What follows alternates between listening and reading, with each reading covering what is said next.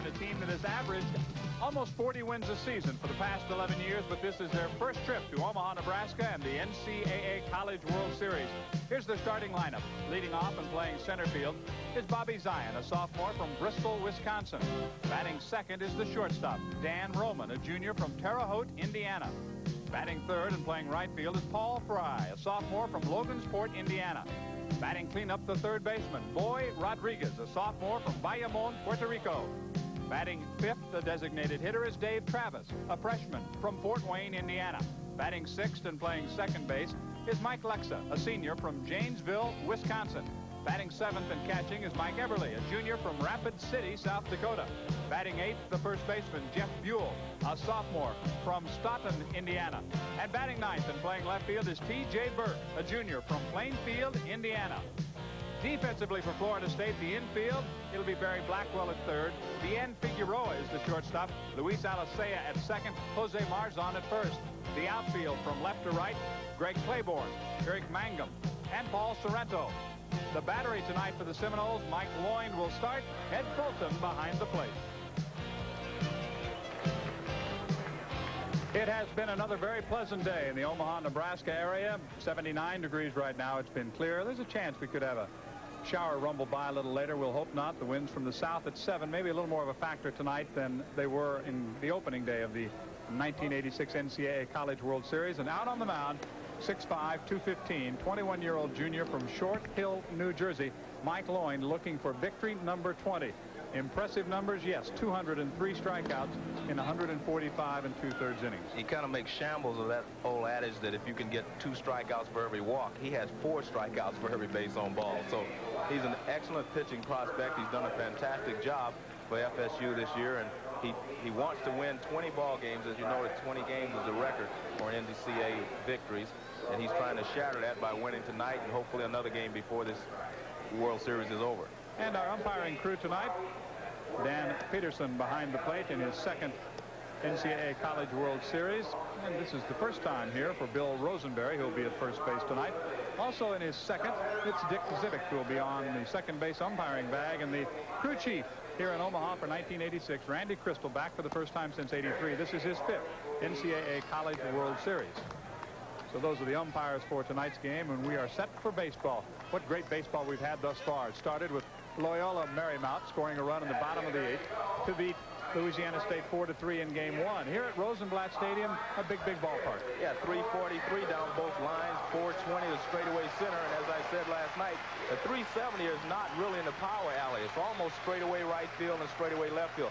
So the power alleys are actually a little farther than that. Well, we hope you stayed up and stayed with us late last night as Arizona came up with two run, three runs in the bottom of the ninth inning to win eight to seven over Maine after they'd been down seven to nothing.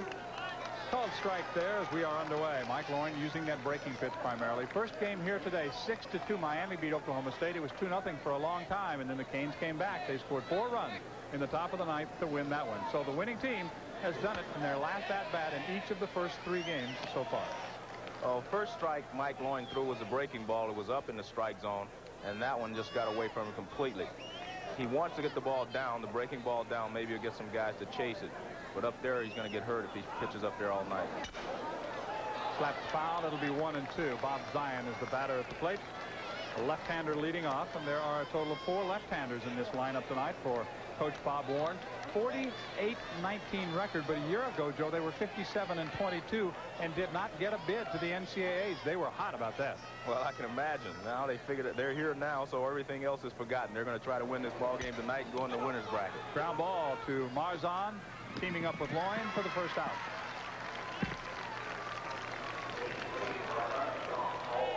Team batting average of 323 for Indiana State. They've hit 84 home runs as a team. They do not play much at home. Played only 19 games in their home park. They played a lot on the road, including four games here, because Creighton is in their conference. Every other year they do come to Rosenblatt Stadium. Might be a little bit of an advantage, especially for some of their batters, some of the young men who like to bunt. This is Dan Roman, batting average of 365. Had only one hit in the regionals.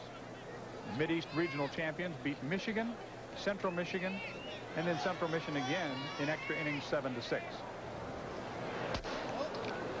There's one out, nobody on. Even though we talked about both of these pitchers being breaking ball pitchers, if you throw enough breaking balls, you can have a mediocre fastball and it'll look like an exceptional fastball.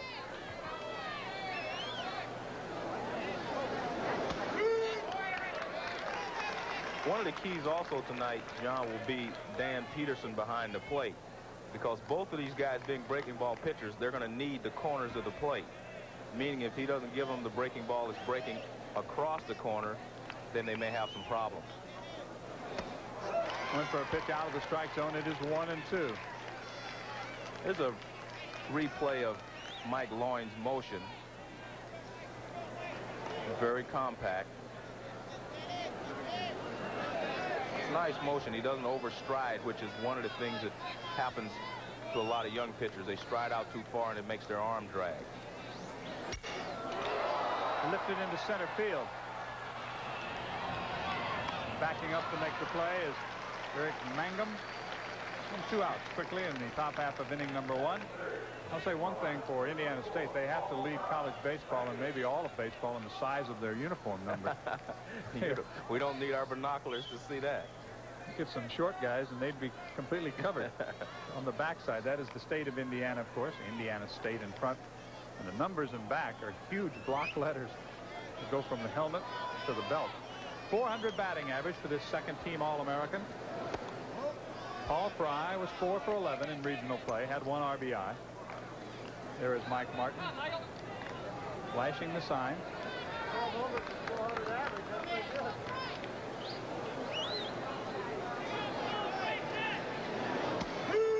Called strike. Count evens at one ball and one strike. School record of 23 doubles this year for Paul Fry. Improved upon last year's 372 batting average. you can see the size of those letters on the back of the uniform. Watching Mike Loynd, John, I think he's only thrown one fastball so far to the first three hitters. That's going to be kind of tough to do for nine innings, but I guess he's been doing it all season. He specializes in pitching in tournaments on a Friday, Sunday. Swing and a miss. So it's two balls and two strikes now on Paul Fry, whose major is special education. Let's take another look at this pitch. You watch Paul Fry's front shoulder. This is the reason he doesn't hit this ball. See his front shoulder fly out of there? You have to keep your front shoulder in to be able to hit the breaking ball when it's moving away from you. Off the end of the bat with that breaking pitch. A lot of a lot of times it's not the break in the ball that makes you swing and miss. It's the speed of the ball, which allows you time to move your front shoulder out. And if you pull off, then you're dead. You saw the coaches. Todd Held, one of the assistants at first. Bob Warren coaches at third. Paul Fry is a sophomore, but he is a redshirt sophomore. Went to Logansport High School in Logansport, Indiana.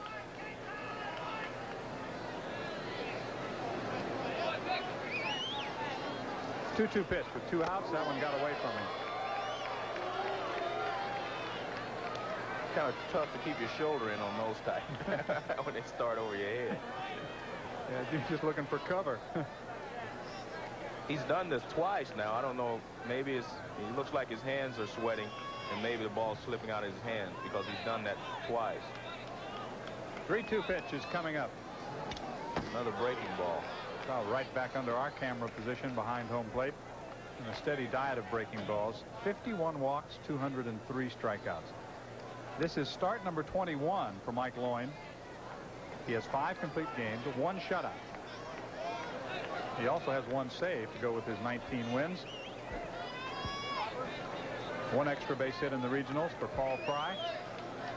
Full count with two outs. Hits it to right field. Paul Sorrento territory. And one, two, three. Ground out a couple of fly balls. And the Sycamores are gone in the top half of inning number one. We will move to the bottom half of the inning, and we'll set the table for you for the top-ranked Florida State Seminoles from Tallahassee, Florida. And getting back to Omaha, Nebraska was not a goal for this team. It was practically an obsession with Mike Martin and company. Last time they were here was 1980. They're delighted to be back. Let's meet their starting lineup for tonight's game. In the leadoff spot tonight for the Seminoles of Florida State, we have Jose Marzan. He's a junior from Bayamon, Puerto Rico. Batting second is the right fielder Paul Sorrento, a junior from Peabody, Massachusetts. Batting third and playing second base is Luis Alicea, sophomore from Guaynabo, Puerto Rico. Batting in the cleanup spot is the shortstop, Bien Figueroa, a senior from Santo Domingo of the Dominican Republic. Batting fifth is the center fielder, Eric Mangum. He's a junior from College Park, Georgia. Batting sixth, the DH, Steve Taddeo, a junior from Plantation, Florida. Batting seventh and catching tonight is Ed Fulton. Ed is a sophomore from Dry Fork, Virginia. Batting eighth is the third baseman, Barry Blackwell, a sophomore from New Providence, New Jersey. And batting ninth and playing left field tonight is Greg Claiborne. He's a sophomore from Jacksonville, Florida. Sycamore's defense around the infield. Boy Rodriguez is at third. Dan Roman is the shortstop. Mike Lex at second. Jeff Buell at first base. And the outfield from left to right, Terry Burke, Bob Zion, and Paul Fry. Battery tonight, Paul Quinzer, the starting pitcher, and Mike Eberly is behind the plate. And here is that starting pitcher, 22-year-old senior from Newburgh, Indiana, Paul Quinzer, a record of 13 and 4. He also has one save and a 3.73 earned run average. Also an excellent strikeout to walk ratio for the number of innings pitched. I heard from some of the players around that they figure Paul Quinzer is one of the better pitchers in college baseball, and so therefore he has a good chance of being able to hang in there with Mike Loynd. It's going to take a strong game for him to stay in because Mike Loynd has done such a fantastic job so far this season. You expect him to continue that. The only games he has lost this year, all four of them have been by one run. He pitched the 7 to 1 victory over Michigan in the regional opener for the Sycamores and Jose Marzan standing in now with a 325 average. 329 is the team average for Florida State. The Seminoles went through the South 2 regional with wins over North Carolina State, Texas A&M, and South Florida. They hosted that regional in Tallahassee.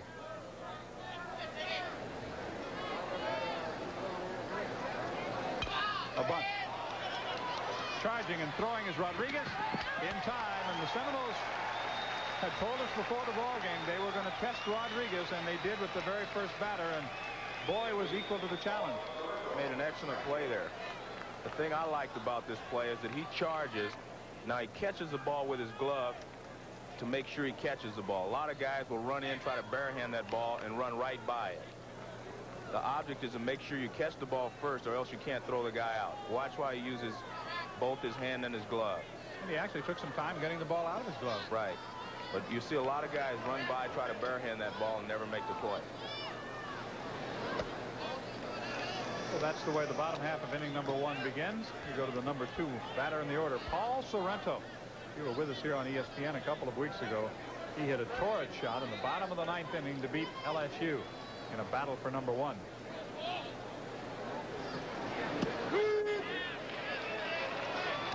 Coaches tonight, Rod Delmonico is at first base.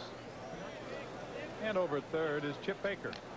I would say two of the younger looking assistant coaches in college baseball. Look like they should be playing. One thing I've seen from Paul Quinzer so far, John, is that he gets himself sideways to the home plate, which keeps his front shoulder closed. And then he explodes everything at once. And that's a good pitching form because obviously it's like hitting. If you open up too soon, your back arm will drag. If you open up your front shoulder hitting, your bat will drag. He stays closed, as you can see there, and then he just explodes at the hitter. Opposite way, on the move is Burke. It's over his head. On his way to second is Paul Sorrento. Sorrento slicing one down the left field side. I think it fooled Burke a little bit. The ball got over his head in a hurry, and it's a one-out double for Paul Sorrento. One of the things I'm continually surprised at is how shallow these outfielders continue to play in this College World Series, especially against the three, four, five hitters on these ball clubs because obviously they can drive the ball. That's why they're hitting third, fourth, and fifth. And you see this line drive just go 40 feet over his head. So I don't know why they're playing so shallow. It's a double, double number 15 for Sorrento. He's in scoring position for Luis Alicea, who has 69 RBIs this year. Only Sorrento has more in the starting lineup. Hot hitter in the last 10 games. Also a second team All-American. Which left the folks in Tallahassee shaking their heads. 84, he batted 315. 85, 325. And this year, 398.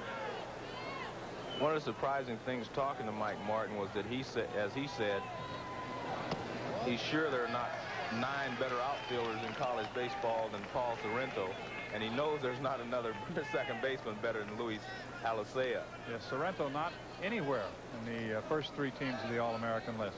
But of course, it's a tough job. A very tough job. I'm not in any way putting down the selections because all the young men are deserving. Exactly. I can almost lay odds here that you get Sorrento at second with one out, and you've got Alicea and Figueroa coming up. Mike Martin figures he's going to score a run somehow this inning. That has been the way it's worked all year long. Because the way it's broken up with Sorrento, their top home run power man in the number two spot in the order. Cleanup hitter only has two home runs. The reason for that is that when Paul Sorrento was hitting third in the batting order, he was not getting any pitches at all to hit. So they moved him up to second and put Luis Alicea behind him. And Alicea responded by doing very well behind him, so he got a lot of pitches to hit. But Mike was very upset, Martin was very upset during the season because Sorrento was just being walked intentionally. Two balls, two strikes. One out, one on. That's Sorrento at second in the bottom of your picture. Full count of three and two. Irv Brown? Joe, you made a great point about the front shoulder of Quinzer. I have never seen a pitcher hide the ball as well. He actually is almost turned around from this angle facing third base. It's amazing. It's very difficult to find him. He uses a lot of leg and a lot of glove. The ball was hit well the last time, but I guarantee you, this guy is not easy to follow. No, and he, when he keeps that shoulder there and he explodes all at once, like you said, it's tough to pick up this pitch. The 3-2 pitch caught the outside corner. Alicea will have to pick up his bat and go to the dugout. I think this is a good example of what you're talking about, Irv. He hides the ball. Now here he comes exploding and tailing away on the outside corner. And like you said, that's tough to pick up. That was an excellent pitch, and it was on the outside corner. No question about that one. Bien Figueroa is the cleanup batter. 65 RBIs for him. 393 batting average. And he does well when he has the table set. A 420 batting average with men in scoring position. That's where Sorrento is right now. I was told that Quinzer's best pitch was his slider. From watching the way he throws his fastball, I would disagree. I would think that he has an excellent fastball because it's got a good tail on it. Down the right field line, slicing toward the corner, fair ball. That will score the run. Figueroa on his way to second with a double. He trades places with Sorrento, and the Seminoles lead the Sycamores 1-0.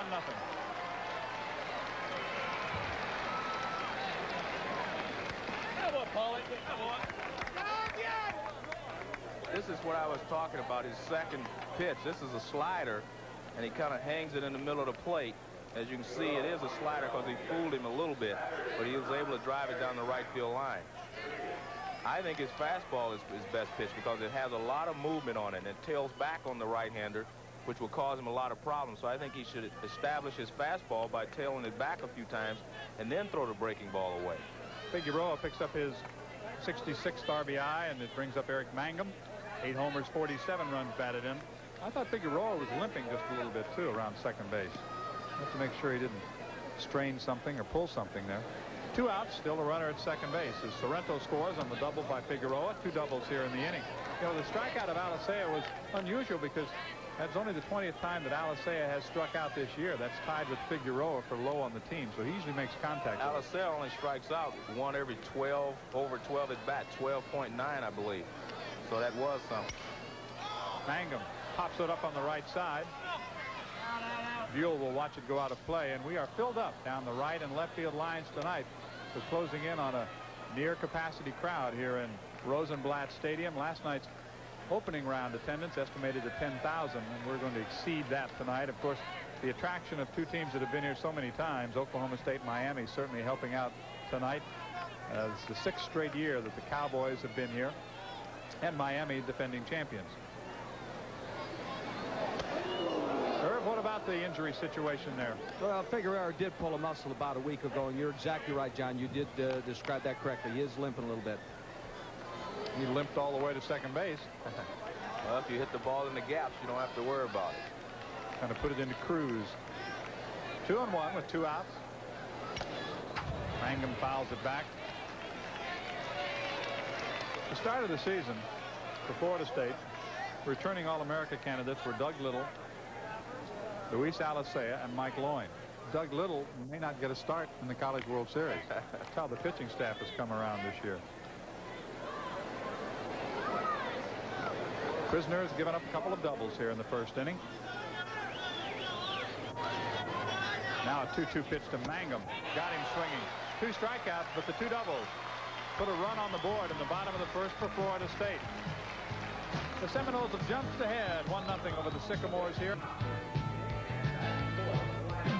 1-0 as we go to the top of the second. I'm John Sanders with Joe Morgan and Irv Brown. And enjoy your program here at Rosenblatt Stadium and focus in on Florida State. Coach Mike Martin. Seminoles jumping up 1-0. Top of the second now. Boy Rodriguez, an outstanding ball player. He had five hits and 14 at bats in the regionals. 324 average. And once again, Loynd almost threw it out of the stadium. I think he's having trouble with the grip. I think maybe his right hand gets a little sweaty there and the ball slips out. Pretty good friends with uh, Luis Alicea, both from Puerto Rico. Ground ball to the right side. Marzan again with Loynd. Second time that duo has teamed up for a putout. And four in a row set down by Mike Loynd, the right-hander.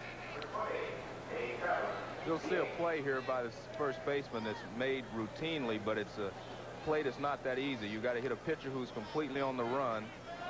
And if you throw it too low, the pitcher won't be able to handle it. You've got to throw it up around his shoulders so that he can catch it in stride and continue on the first place. A lot of people get hurt that way when you make a bad throw. Dave Travis is the batter. Dave, a DH. He's from Fort Wayne. That's four homers and 33 RBIs.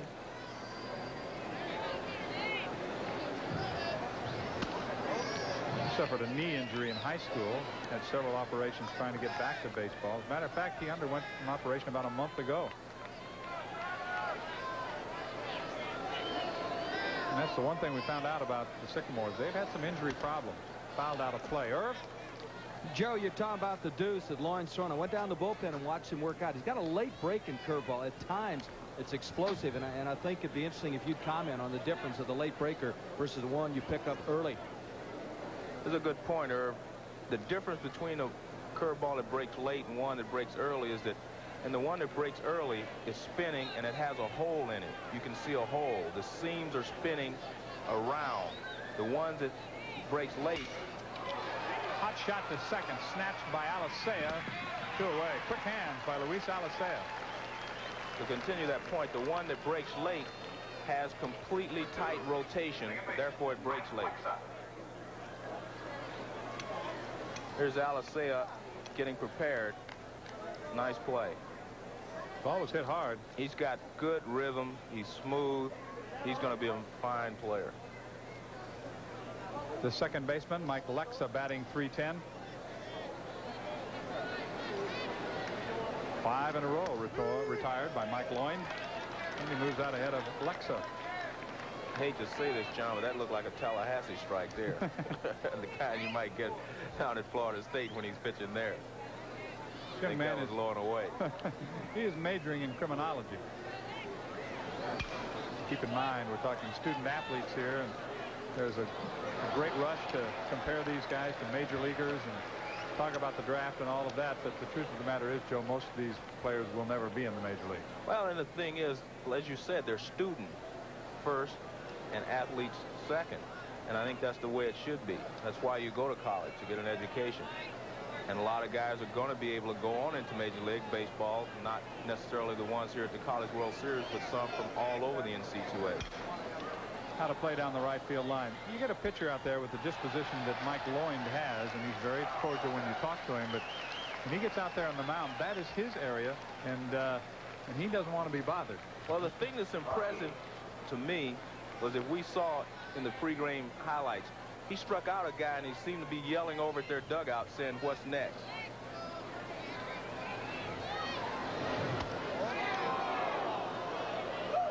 One and two. Lexa had a home run in the regionals, five hits and 12 at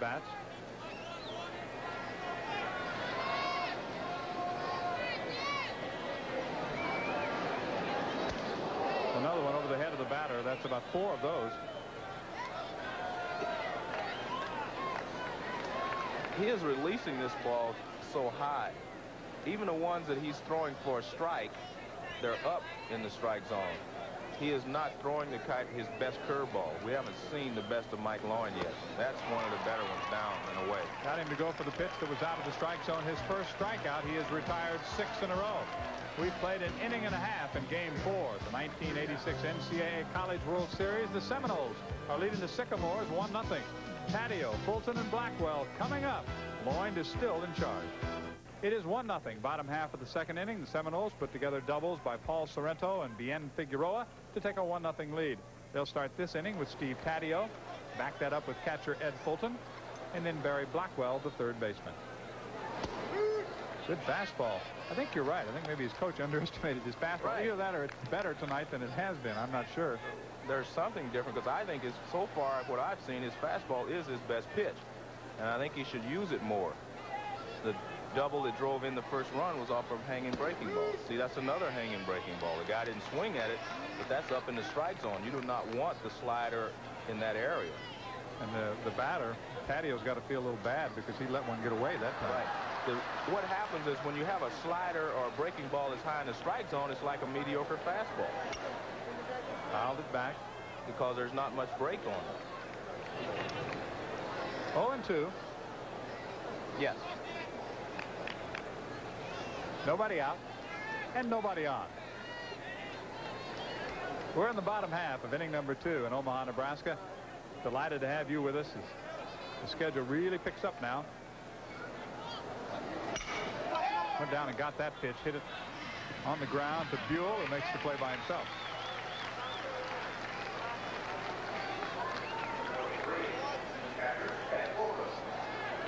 Quinzer struck out two in the first inning, but also gave up the two doubles, and Mongo has made the trip. I'm not sure if he brought all the animals with him or not, but Mongo is here from Tallahassee, Florida. Ed Fulton batting 301.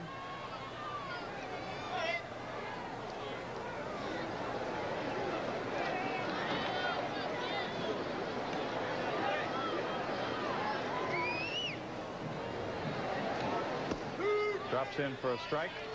Here's a close-up look at uh, a part of our pitcher. The one thing I like is he works from the extreme right-hand corner of the rubber, which gives him a crossfire effect on the right-handed hitter. To Hopper to second base. And you can continue, Mr. Morgan. It gives him a crossfire on the right-handed hitter, and it also lets him tail the fastball back away from the left-handed hitter.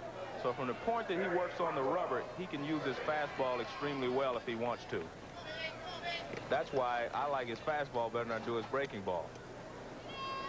He has retired the first two here in the second. Leaves it up to Barry Blackwell.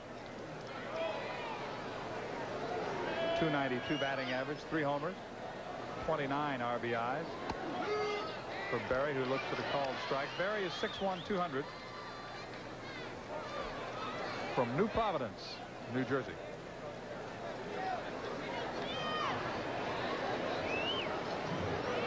The Seminoles have the game's only hits and the game's only run. Center field. Bob Zion.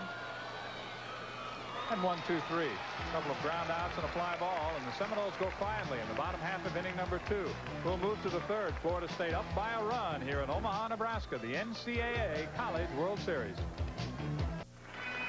1-0 Florida State. We move to the top half of inning number three. It'll be the bottom third of the order coming up for the Sycamores of Indiana State. I mentioned they played only 19 games at home. The record at home was 15 and 4. If you're keeping score, you know that the first six batters have been set down in order by Mike Loynd.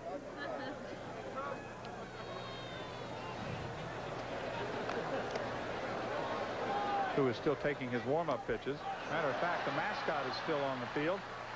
That is the maniac from Miami, but uh, he's not just here because the Canes are here. He happens to be the official mascot of the College World Series. And I think this must be about his fourth year, maybe. Irv? Remember when this guy came here, he was cocky with South Carolina. And Ron Fraser, who steals everything, steals this guy. He winds up down in Miami. Now he's a millionaire. He, has got more money than you and Joe Morgan. I don't know about me. Interesting note here, John. Mike Loynd, threw two innings, has thrown 28 pitches, 18 of them are strikes. Quinzer has thrown 27 pitches, 18 strikes. Well, we said at the top of the game that they were similar. They're very similar.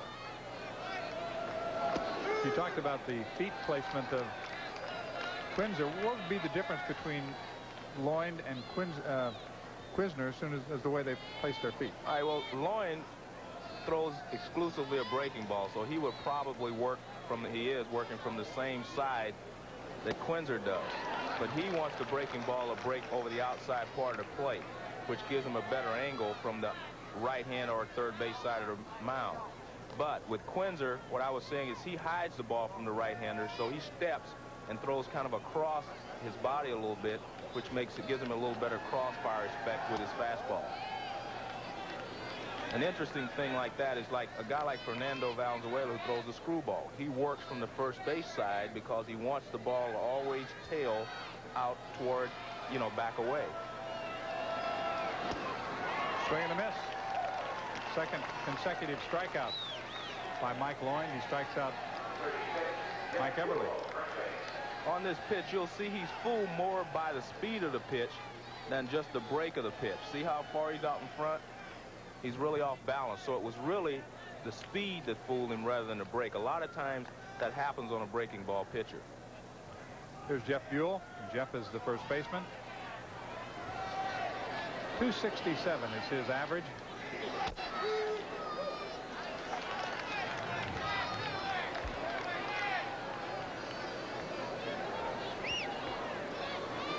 He did some clutch hitting for the Sycamores in that regional. Drove in five runs.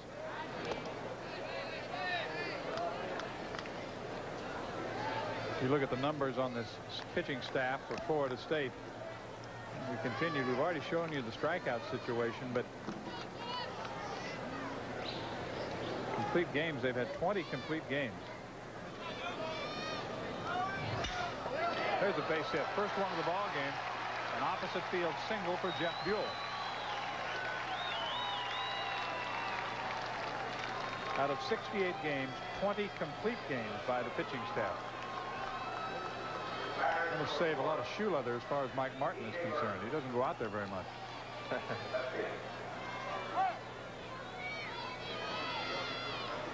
Number nine batter is T.J. Burke. T.J. at 323.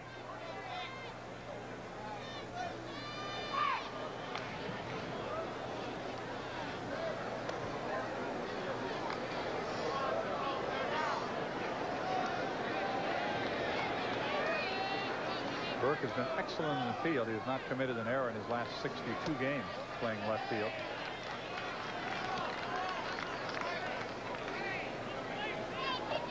One ball, no strikes. The runner at first is Buell with one out.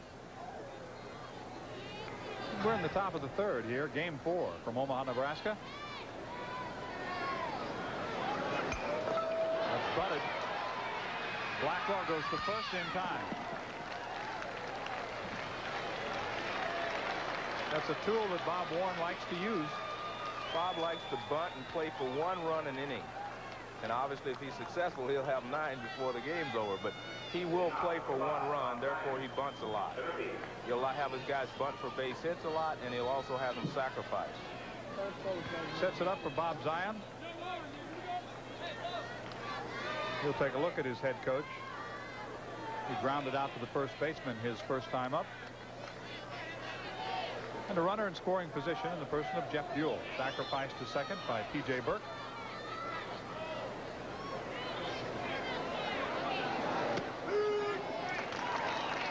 One of the problems I see Mike Loynd would have would be to hold runners on. He's got a pretty deliberate motion to the plate. It takes a little time to release the ball. Slowly hit the first. Loynd missed the bag. It was not an easy play for Marzan, and Loynd couldn't find first base. That's what I was telling you about. A play that looks routine, but is really not. They made it perfectly the time before. Here's the replay. He throws this ball a little behind him, as you see, and it pulls him off stride. Now he has to try to find the bag. But TJ runs very well, and he beat him to first base, actually. Watch, you'll see him beat him to first base. He hits the bag before Loynd can find it.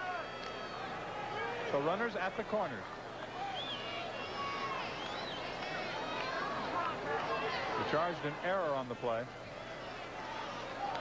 Now, the one thing you have to watch out for here with that runner at third is that Coach Bob Warren is not afraid to try steals, maybe delayed double steals in this situation. And that's why I was saying Mike Loynd's going to have a problem holding guys at first base. So if they want to send them, they have an excellent opportunity to do so here. Got a pretty quick move to first, though. But being as tall as he is, it takes him a little while to unwind when he comes to the plate. There are two outs and two on. One ball and no strike on Dan Roman, who flied to center his first time up. He takes a look at his coach at third, Bob Warren, who played here with Southern Illinois in 1968.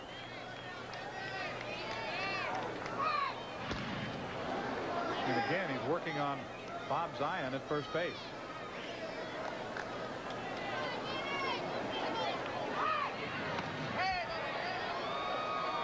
Marzan had to climb the ladder a little bit to keep that one from becoming a run for Indiana State.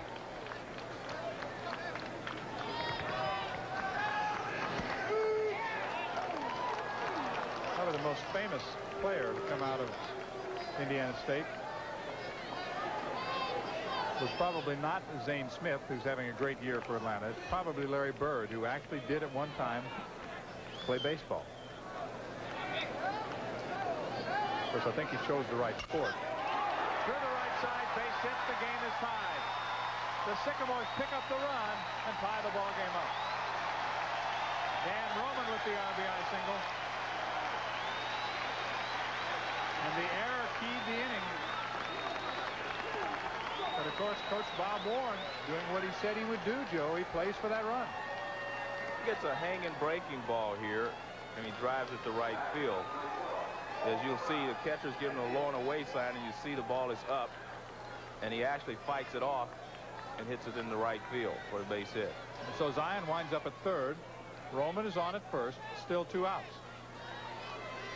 The batter is Paul Fry, who flied to right this first time up. Fouled right at home plate. So in the inning, a couple of hits, but the the error really keyed the inning.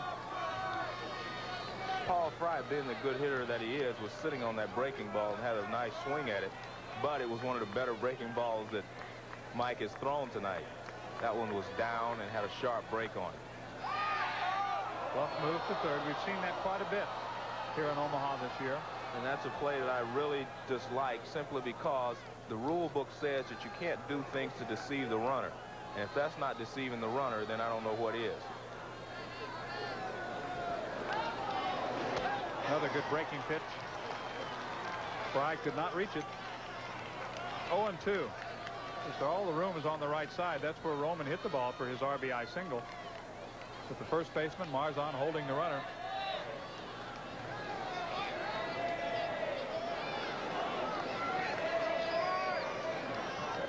Two on with two out. It's a fair ball and hit third base. Another run will score. The Sycamores take the lead. Roman is on his way to third. He'll stop there. It's a double. And an RBI for Paul Fry. Two to one, Indiana State.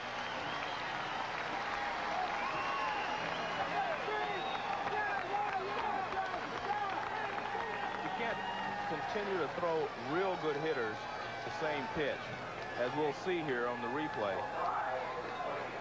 Paul Fry is looking all the way for this breaking ball, and he hits it. He threw three uh, straight breaking balls. I mean, you have to mix in a fastball to keep the guy honest. You know, 0 and 2, I would have thrown the fastball inside just to keep him honest and then come back with the breaking ball if you want. But he tried to put him away a little too quick, I think, and Paul Fry was sitting on the breaking ball, which a good hitter should against Mike Loynd. And you almost saw Paul Fry that time start to dive out to the outside part of the plate. Exactly, and that's why you throw show him the fastball inside first to keep him honest and then go back outside. Boy, Rodriguez. The president of Florida State. Dr. Sliger is here. He's not happy right now, of course, but Doctor, we've got a long way to go. Only the top of the third. It's two to one. An appeal at second. Actually, if the appeal would have gone through, that would have canceled the run. It did because not. it would have turned into a force out. It did not, and the run stands. Two to one. Indiana State leading Florida State. Top of the third. Seminoles scored in the first inning, and right back with two here in the third come the Sycamores.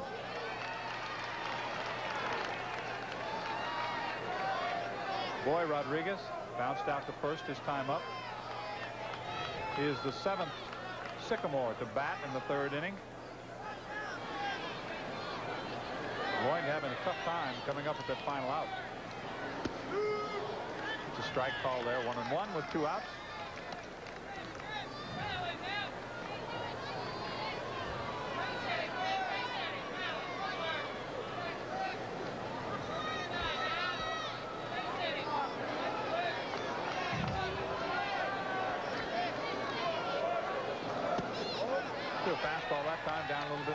when Mike's throwing from the stretch, he has trouble, seems like getting the sharp break on his breaking ball or keeping it down. From the windup, he does not seem to have a lot of problems. Count is two and one. Fly ball down the left field line. Nobody will catch up with it. It's in about the third row. Stands filling up both down the left field and the right field side of Rosenblatt Stadium the minor league home of the Omaha Royals, the uh, AAA farm club for Kansas City. The count on the batter, Boy Rodriguez, is two and two. Greg Claiborne had to run a marathon just to get to the foul line. He's playing way over in left center field. The runner down at second with the double is Paul Fry. You saw Dan Roman, who's on at third. Two runs are in for Indiana State. They're looking for more. Won't get it. They'll take a throw to first to record the final out of the inning but on three hits and one error. The Sycamores come up with two unearned runs here in the third inning. They take a 2-1 lead over Florida State. Back with the bottom half of the third from Omaha, Nebraska, Claiborne, Marzan, Sorrento. Stay with us.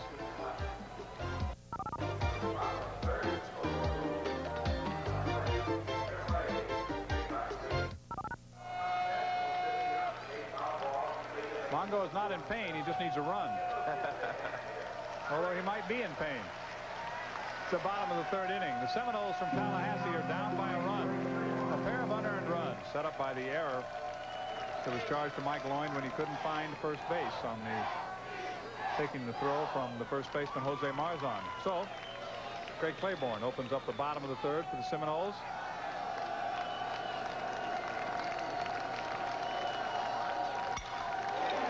And singles to left. But back comes Florida State. I think that's the one thing for those people who have not watched college baseball that much. They just keep coming at you on both sides. Right. That was a good pitch, I thought, by Kinzer. Quinzer. He made a good pitch. See, the guy's tied up inside, but he fights the ball off and gets it in a good spot. Now, keep in mind that Seminoles are averaging nine runs a game. They have one, but they may put a few more on the board before we're finished. Back to the top of the order, Jose Marzan tried to bunt his first time up. Off the end of the bat. When I was talking about Quinzer using his fastball more and having a good fastball, I know there are a lot of athletes who say that they were driven out of baseball by the curveball. The curveball is still the easiest pitch to hit when you hang it. The moving fastball is the toughest pitch to hit in the major league or any walk of baseball as long as the ball has movement on it.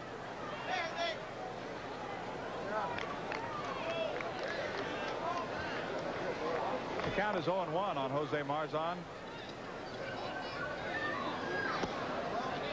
Runner at first is Claiborne. There's nobody out. We're in the bottom of the third inning. A run for Florida State in the first. Two for Indiana State in the third inning. One of these teams will join Loyola Marymount, Arizona, Miami in the winner's bracket. And the winner of this game plays Miami on Tuesday night, 8 o'clock Eastern Time, right here on ESPN. All the rest of the games of the 1986 NCAA College World Series will be carried live. Ground ball to second. Flexa goes to short for no, one. That's all. Missed the bag. Missed the bag. Everybody's safe. You heard the umpire. That was a good call. I was watching. He did not touch the bag. Danny Roman came across, and I think he was looking to see if he had a shot at first base, but he actually missed it. I think you'll see here it's a ground ball a second. Lexa makes a good play, gives him a good throw, but watch his right foot. See, it is not on the bag, and he never touched second base. Really kind of swept by the top part of second base. The argument will go on as Coach Bob Warren comes out, but uh, make no mistake about it, Dick Zidek was emphatic. And we could hear him up here saying, you missed the bag. And I could actually see it from here that he didn't get the bag. The charge the error to the shortstop. There is such a thing as a phantom tag, as they say. A lot of times, umpires will not call that. There have been a few outs recorded at first base when the first baseman It wasn't necessarily right. on the bag either, right? Right, exactly. Herb? I'll tell you what, not only did he get a tough call, look at Bob. We talked to him today. He's really in pain. He got hit by a line drive pitch in batting practice, didn't get out of the way. He's in serious pain, and not only that, he's got a runner at first and second going against him. That hurts even worse. He's black and blue all up and down his right side, can hardly move, so he doesn't want to run out there and be emphatic with the, the umpire. But the result of this is Claiborne at second, Marzan at first. Two on, nobody out for Paul Sorrento, who doubled and scored his first time up, takes a strike. Let's take one more look at it and see what we can see from this angle. See, his foot is not on the bag, even though it may appear to be from the viewer's point. But his foot is about seven, eight inches away from the bag, his right foot. Swing and miss by Sorrento. 0-2 now, so Quinzer jumps out in front.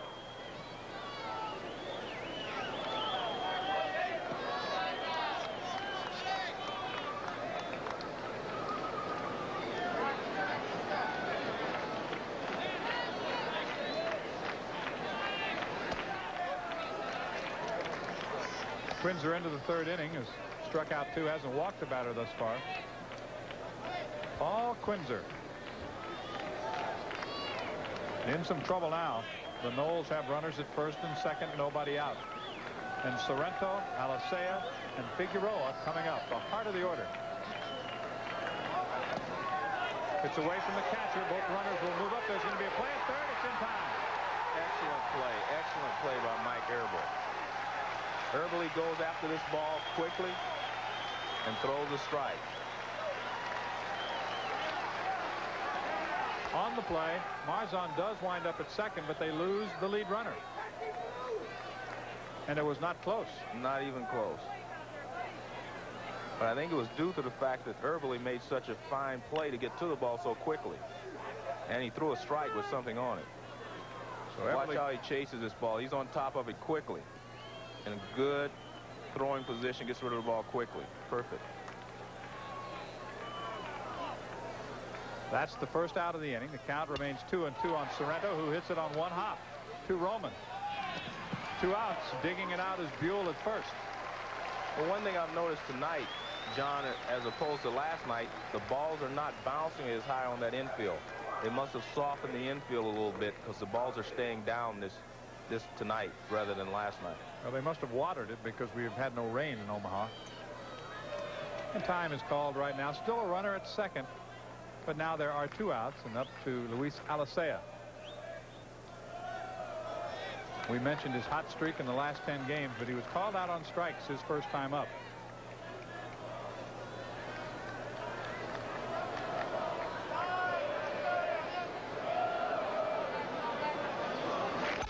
Alicea lays down the bunt. Charging is Rodriguez. Bare hand, no play. It'll be a bunt single. Keeps the inning alive. And the potential big inning now, you look back to the play where Claiborne was thrown out at third. That really turned the complexion of this inning around. Rodriguez tries to barehand this ball, and as I say, 90% of the time you're going to make that same mistake and not catch it. But I don't quite understand why Luis Alicea was bunting there. The guy was already in scoring position, and he is one of the top RBI men on the Florida State team. Came in with 69, so that leaves it up once again to Bien Figueroa with two outs in the first inning. He doubled to drive in Sorrento. Got a chance to do some more damage here. Florida State has out hit Indiana State 4 to 3. Fly ball right field. Paul Fry toward the line. Makes the catch. The inning is over. So a couple of hits, an error, but no runs here in the third. Still 2 to 1. Indiana State leading Florida State as we move on to the fourth inning. It'll be Travis, Lexa, and Everly coming up for the Sycamores. That might have turned the inning around as far as Florida State was concerned. Could have been a big inning, but instead they came up with nothing. Doesn't matter who won the argument. They have the lead. Loyola, Marymount, and Arizona will be meeting on Monday in the winner's bracket game, and they are here from Tallahassee.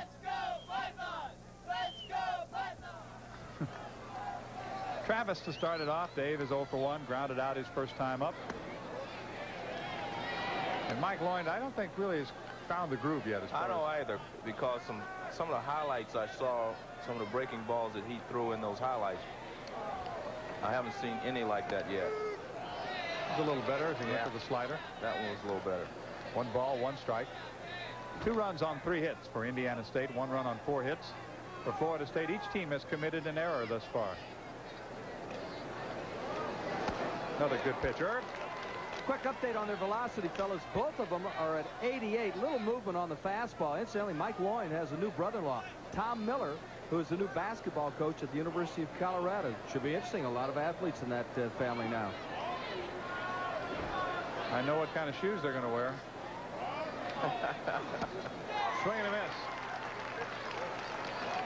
Fourth strikeout for Loynd. I say that because Mike's father happens to be the chairman of the board of Converse. Here's a last curveball that Mike throws.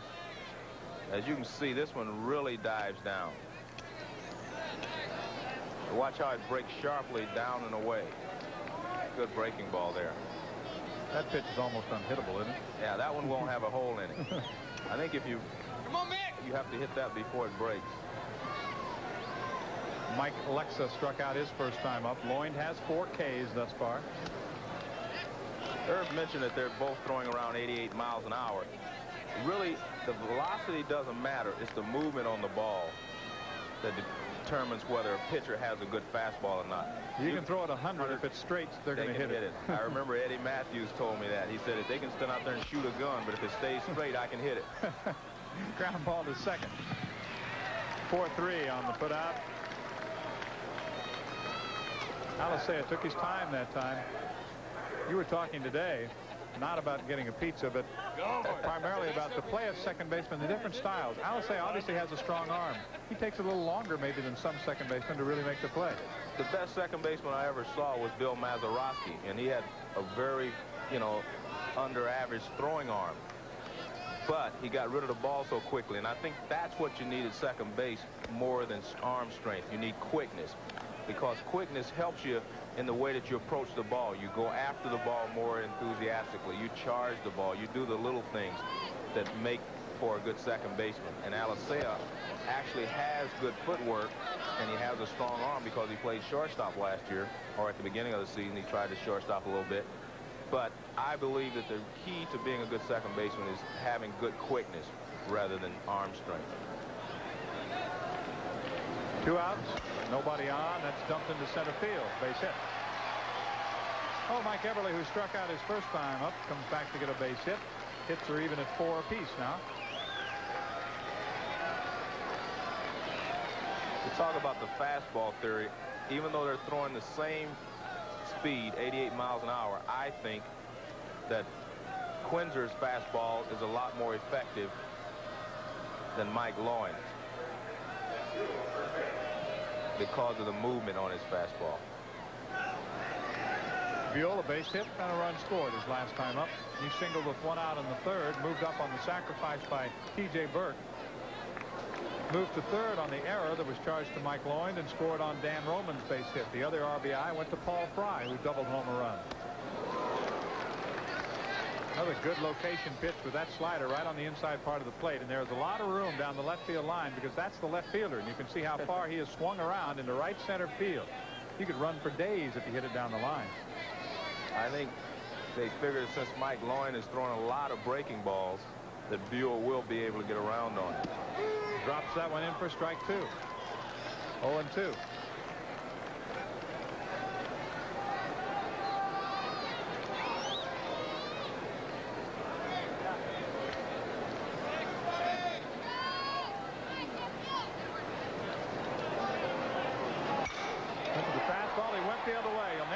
if it stays fair, it's going to be trouble. It's going to score a run around third and headed for home is Mike Everly. It's a two-out double for Jeff Buell, and it's a three-to-one ball game. The defensive strategy came back to haunt him. Well, I, I think that's a matter of pitching there. If you set your defense one way and you figure the guy's going to pull the ball, you have to make him pull the ball. You have to throw him breaking balls and whatever. You can't throw the fastball up and away. They're set up for the breaking balls, and he throws him a fastball up and away. And as soon as it was hit, you knew nobody was going to no catch it. No one's going to catch it. You can't play a guy that far around if the pitcher's not going to pitch him correctly. So Mike Loynd turns his back on a 3-to-1 deficit right there. 3-1 Indiana State. The Seminoles are down to the Sycamores who are chipping away. Here's Burke. He laid down the sacrifice bunt his first time up. Up high, ball one. All of this started with two outs in the third inning. Both runs that were scored were scored after two were out. I also might add that I don't believe in swinging way around on any hitter because what that does is it eliminates a pitch or two from the pitcher's repertoire, and I don't like to do that. Called strike there, and Mike Loynd, we talked about his competitiveness. He is still talking to himself. He's very upset because I, and I think he has reason to be because, like I said, in college baseball, when you see a guy, you do not know that he's going to pull everything. I don't think there's anyone in college baseball that pulls every pitch.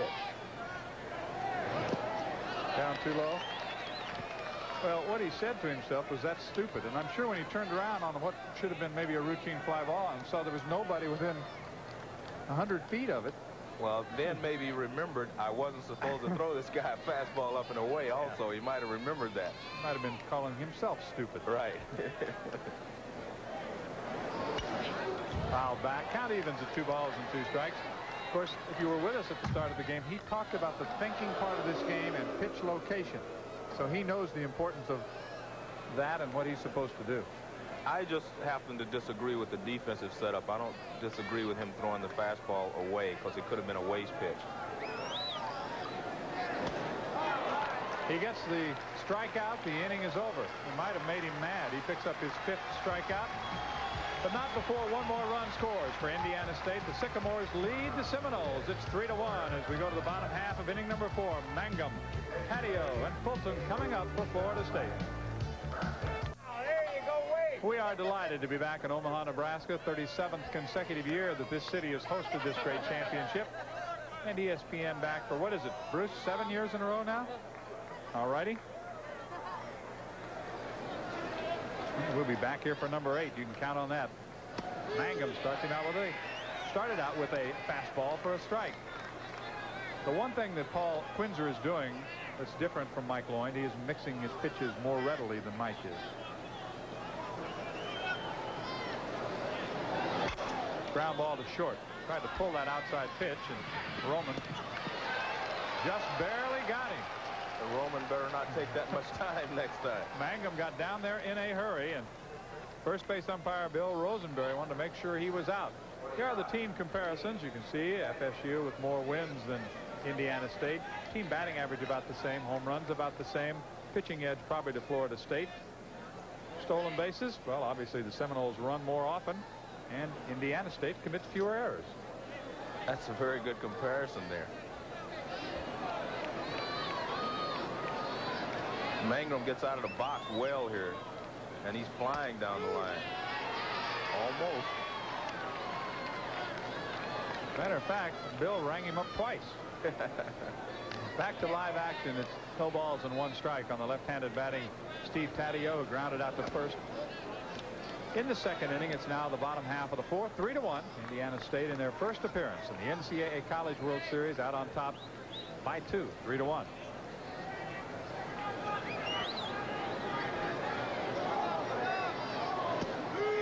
Martin at Florida State following in the footsteps of a couple of pretty good coaches. One of them named Dick Howser, The other one named Woody Woodward. Yeah, not too bad. I played against Woody Woodward during my major league career. Woody now with the Yankees, and of course Dick Howser, who was there, I guess, just for one year, 1979, is now the manager of the Kansas City Royals. I didn't play against Dick in the major leagues. He was in the American League at the time. Dick was a good player. Two balls and two strikes with one out, nobody on. Bottom of the fourth. Foul ball.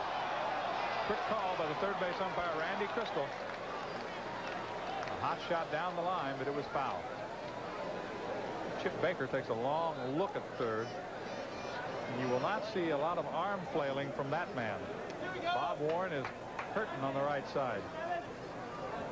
And he's done a great job in 11 seasons, averaging about 40 wins a year. Last year they won 57 games. There's his wife. All decked out in blue and white. From Terre Haute, Indiana. And the Missouri Valley Conference, 11,500 students at Indiana State University. Did you tell him that Larry Bird had a lifetime 500 batting average or something? Yeah, I think he was one for two. One for two. After watching him on a basketball court, I'm not surprised that he, he was not a good baseball player. I, I believe he can do anything. Ground ball through the right side. He was two for four, they tell us. Not one That's for better. two. We apologize, Larry, you know. That's uh, 500. He shoots better than that on three-point plays. so it's obvious he chose the right profession. He had a better average than Danny Ainge anyway.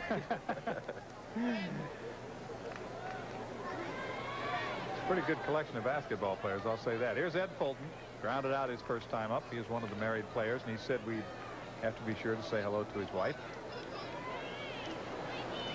And I, I want to make sure that we did that. That is almost a balk, if not. Well, there are several pitchers, and when you make that little jump move, uh, in the major leagues, a lot of times they're going to call it a balk. Well, the rules say you have to step toward where you're throwing, not jump. A jump is not a step. Pitch out.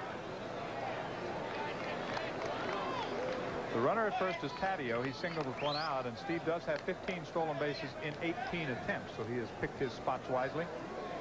Mike Eberle is also one a good thrower, so it's not going to be that easy. And I'm sure Mike Martin will pick his spots down by two runs. He bluffed the start, and you heard the player's reaction. What did you like to do when you faced a pitcher, or you were on base against a pitcher that you had not seen before? If you were at first, how would you set up a pitcher? Being honest with you, if I could ever get a pitcher to throw to first base one time, then I figured I knew him. Because I've already seen him throw to the plate from watching from the dugout or wherever. So if I could get him to throw, make one move to first base, I, I should know what he's going to do if he's coming over. That is definitely a jump.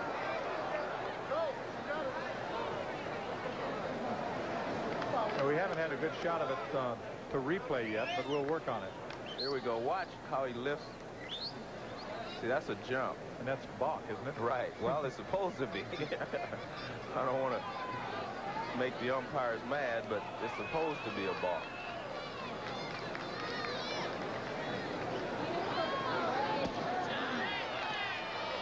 Two balls and one strike. One on, one out. Ed Fulton takes a good long look. Ed is from Dry Fork, Virginia. 19-year-old sophomore. Good offensive production, 16 home runs. He's second on the team in that category. 76 RBIs, also second on the team. Of course, in college baseball, and I think, Joe, the one thing we have to keep in mind, this is a different game. But you have your two top power men, RBI men, in the number two and the number seven spot in the batting order. That is strange. The reason is strange is because your three, four, five hitters usually get a chance to hit with men on base more because your top of your order, one, two, and three, are usually guys that get on base more. Ed Fulton talking to himself because he could not trigger on that pitch. The count goes full at three and two. He's not talking to the umpire, Dan Peterson. He's talking to himself. Think they'll be running here? I think they will. You've seen the Seminoles more than I have. They run a lot. It's a 3-2 pitch with one out. Try to stay out of the double play, keep the inning alive. I guess he is going. Well, you can bet that Paul Quinzer thinks so. See what I mean about the size of the numbers on the jerseys? Back get tired from carrying it. Three and two. Runner starts, pitches outside ball four. Irv? Hey, I really believe you guys are right on. I think Quinzer balks. It's got to be a straight step. You cannot do what he is doing. They can't get a jump over here in the third base dugout. They're unhappy. I can't blame them. I agree with you. Are they? They're not getting. Are they trying to get a response from the umpires, Irv? Yeah, they really are, and, uh, and, and they're getting polite conversation. Everything is going well. I like the the conversation, quite frankly, between Randy Crystal and Mike Martin. Uh, Mike is pleading his case, and quite frankly, he's got a legitimate case. I think that they've sent a message. I think that they'll respond to it the next time there's a pick to first. If you see the same thing, it'll be a balk. All right, Barry Blackwell had three hits in the regionals, a couple of them doubles. Rolls it to third. Rodriguez goes to second for one on the first double play. Five, four, three around the horn, and the inning is over. So once again, the Seminoles come up empty against Indiana State. Right now, the Sycamores have the lead, three to one after four innings of play in Omaha, Nebraska. Game four of the NCAA College World Series. Zion, Roman, and Fry when we come back with more baseball. Conversation between innings between the home plate umpire, Dan Peterson, and the third base umpire and crew chief, Randy Crystal. And Mike was arguing about the fact that he's jumping, the pitcher's jumping to first instead of turning to throw. Here's the double play, 5-4-3. We had a, a player called safe because a infielder was off the base earlier. How about this one here? Well, Mike Lexius definitely leaves second base too soon, as you can see. But I think that was also a situation where Bob Warren has gone out earlier and argued the point, and he got the call this time. He was closer see. to right field than he was second base. yes, he was. That's the phantom tag. A lot of second basemen are allowed to do that, I guess. And the Sycamores having a great time right now. One of their younger fans here. And if he looks up at the scoreboard, you'll see that his team is ahead 3 to one as we go to the top half of inning number five. And the top of the order coming up. Zion, Roman, and Fry. Even though the score doesn't indicate it, John, these two pitches are very similar. Both of them are throwing 67 and 66% strikes. Mike Loynd has thrown 67% of the pitches he's thrown has been strikes. Quinzer has thrown 66% of his pitches for strikes. And that first pitch was a strike. Zion reached on an error and scored in the third inning. Those two runs that the Sycamores scored to take the lead were unearned. They added one more in the fourth when Jeff Buell got his second hit and drove in a run. I'm sure that Mike Loynd had a good long conversation with himself in the dugout between innings. First team All-America pitcher winding up his collegiate career. He is a junior. He is eligible for the draft, and a lot of these young men here will be waiting for phone calls come Monday. Well, I think Luis Alicea chopped to short. Figueroa behind second, one out. He was rated the number one prospect at second base, eligible for the draft by the pro scouts. Other names you'll probably hear called, Jeff King of Arkansas. Figueroa behind second. The thing you look for is how smooth a shortstop and a second baseman is. That really is attributed to their footwork. If they have good footwork, they will look a lot smoother than a guy that does not have good footwork. And it's Dan Roman now. Shows bunt. Takes a strike. Dan is 6'3", 180. Had a base hit. Drove in a run his last time up. RBIs to Dan Roman and Paul Fry. And Jeff Buell for the Sycamores. Figueroa owns the RBI for Florida State. One ball, one strike, one out. We are in the fifth. And in each case, both the third and the fourth inning, Indiana State scoring runs with two outs. He definitely has better control of his breaking ball now, Mike Loynd does. He's getting it down in the strike zone or even below the strike zone. You'd rather have the curveball break low in the dirt than to hang up stairs because they can hammer on it upstairs. Downstairs, if they swing at it, they can't do anything but top it.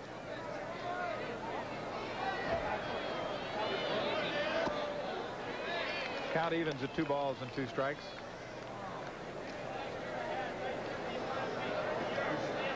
Mike Loynd has struck out five. He's not walked a batter.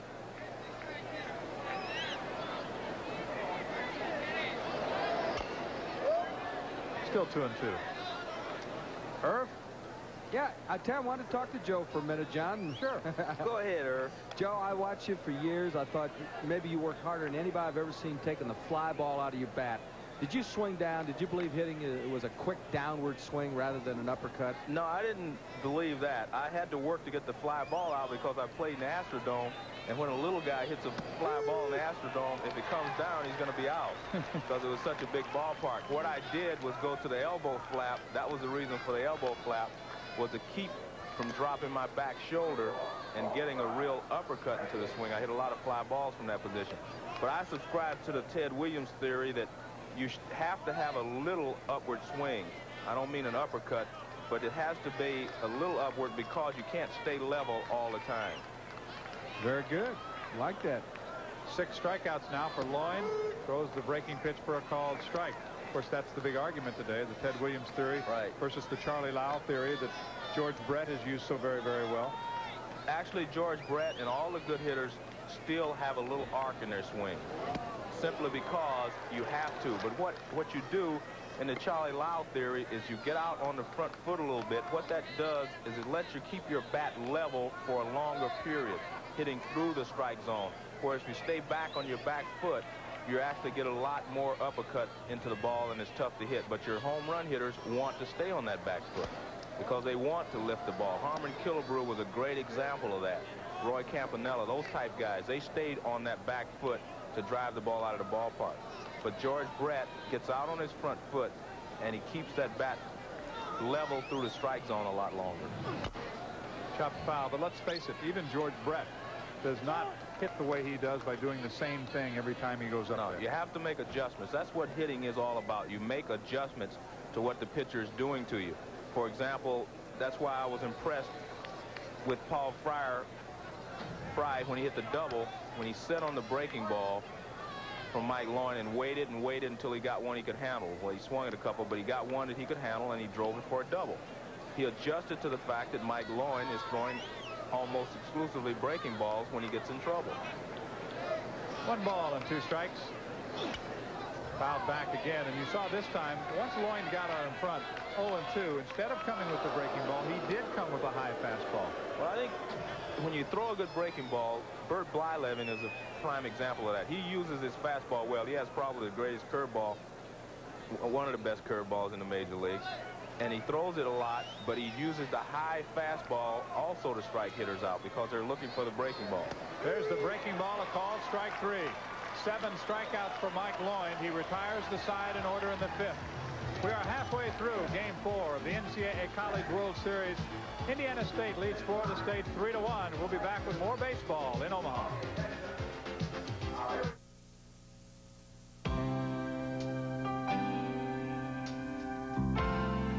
Well, I think the biggest memory that I have there is uh, facing Dave Winfield. Uh, we were down uh, seven or eight to nothing in the ninth, and David struck out 16, had a two-hitter going, and we got either eight or nine runs in the bottom of the ninth to win the game, and uh, that was pretty unbelievable at that time, uh, especially with Dave throwing. You know, he, he was pretty overpowering, and to come back like that, uh, that was a memorable moment. That was Southern Cal and Arizona State back in 1973. We had a great comeback last night, but not eight or nine runs. not like that. But that was 1973. In 1975, he was in the Major League World Series playing against myself and the other Cincinnati Reds, which I thought was the greatest series that I've ever seen or obviously been involved in. It was just great, and he was also American League Rookie of the Year and MVP that year. So, and he's still knocking down fences. And the College World Series was very instrumental in him getting there. At the knees, a called strike, one and one to the leadoff batter for Florida State, Greg Claiborne. He's the number nine batter in the order, but he opens up the inning. Greg singled, moved up on an error, but then on a ball that got away from the catcher about oh, 10, 12 feet, he was thrown out at third. It might have broken up a potential big inning. You'll see here, Paul takes a little bit off of this pitch.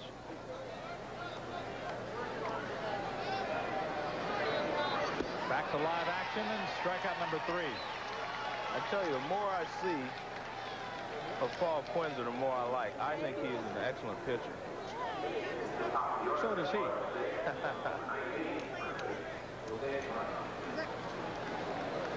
the two strikeouts in the first inning. Gets another one here in the fifth inning. Now the top of the order.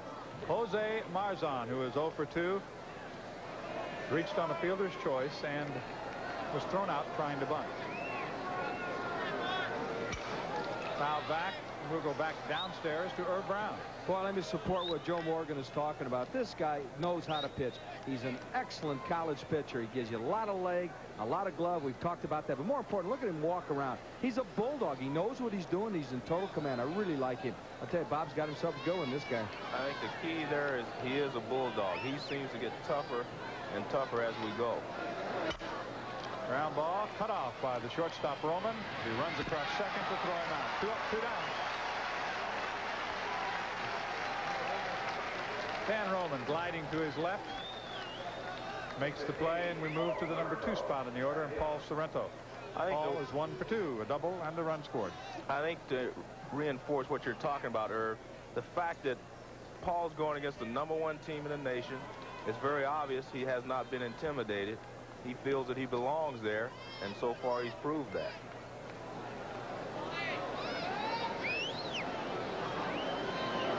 By the way, we were talking about Fred Lynn and his coaches, Rod Dedeaux at Southern Cal. Yeah. My goodness, he has been college baseball for many years. What's he get paid, a buck a year or something? yeah, something like that. He probably owns part of the school, though. I'm sure he does. You saw the numbers against left-handers and right-handers for Sorrento. He hits over 400 against right-handers, but you'll take 339 against left-handers if you're a left-handed batter. Not bad.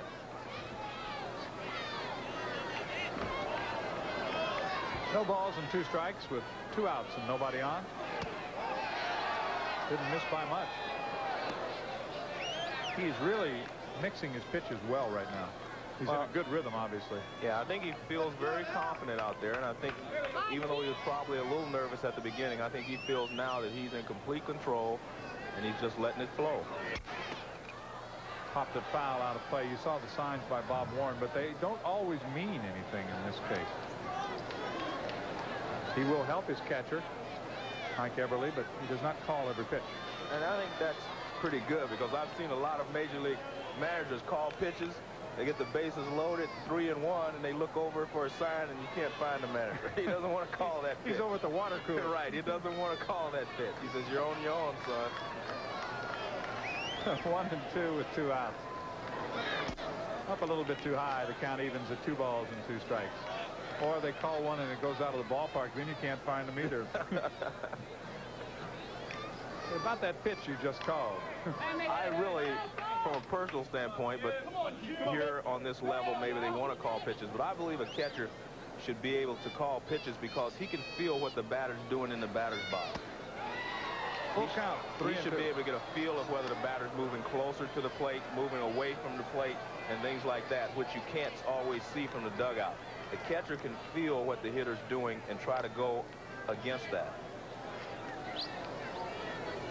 Here's the pitch. It's a changeup. I think it was up and away, even though it was close. Yeah, well, I don't think it was that close. No. Slicing into left center field, but on the move is Zion making a nice running catch. Bob Zion tracks it down in left center field. The ball was slicing away from him. He made the play, stayed with it. One, two, three. We've played five. Indiana State leading Florida State three to one. The Sycamores will come up for their at-bats with Rodriguez, Travis, and Lexa. Excellent defensive play and left center to end the inning. A nice running catch by the center fielder to end the fifth inning. An excellent running catch. Might have been a lot tougher if he wasn't left-handed, though. but he makes a good catch. Bob Zion. Of course, keep in mind the Sycamores do play here every other year, and they played four games here, one all four against Creighton in this ballpark. So he's very familiar with the center field area. It's three to one.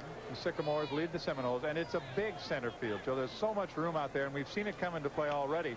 I think the tendency, I guess, in many of the ballparks is that the, the fences are shorter, and it's probably tough for the players to back up. They want to play in. That probably explains it better than anything else, John, because, as you mentioned, most of the ballparks aren't this big, so they're used to playing a certain distance behind their shortstop. But I have to say that most outfields we've seen so far have been playing very, very shallow here. And again, for the second consecutive night, the flag is standing basically still in the center field. Wind has not been a factor. It has been another beautiful night for baseball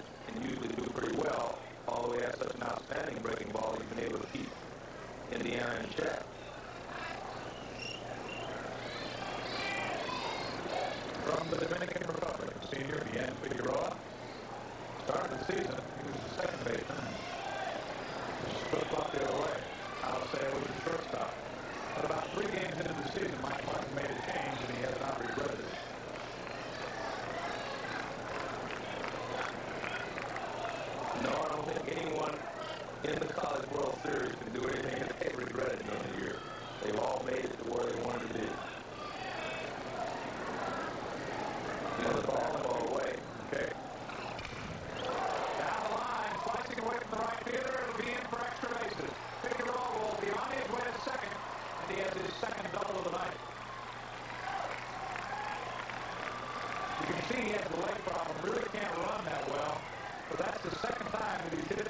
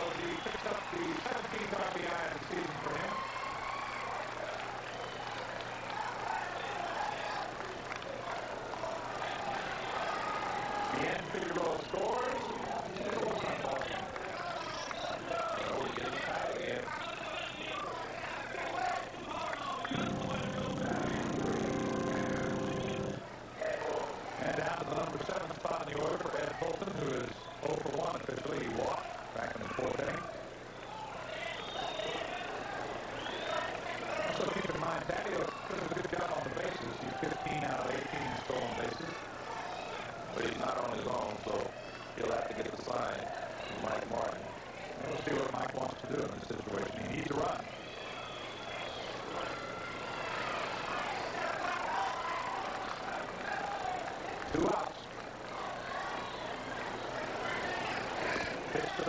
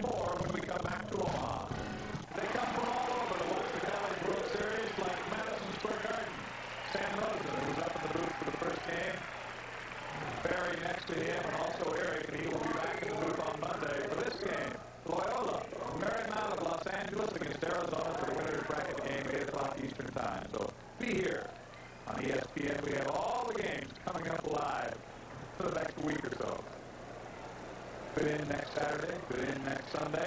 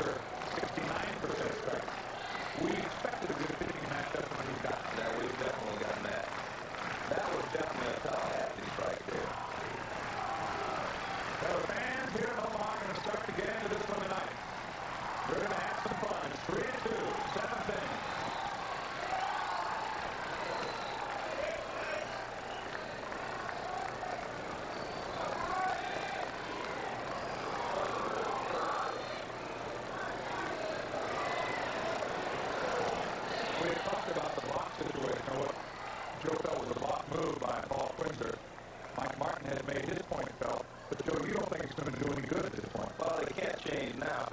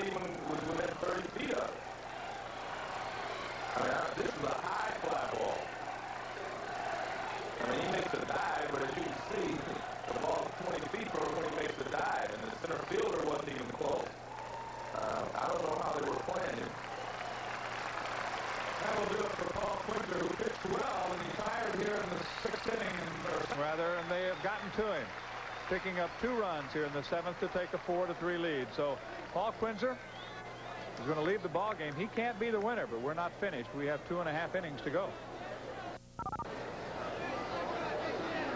And it is Florida State now by a run. Paul Quinzer pitched well tonight. He pitched into the seventh inning, but he had to leave, and he leaves trailing. And as we come back to live action, it's blasted down into the corner off the bat of Alicea. Another run will score. Luis is at second with a double. And all of a sudden, this one has really turned around. It's 5-3. The Seminoles lead the Sycamores. You don't get to be number one in the nation for nothing, John.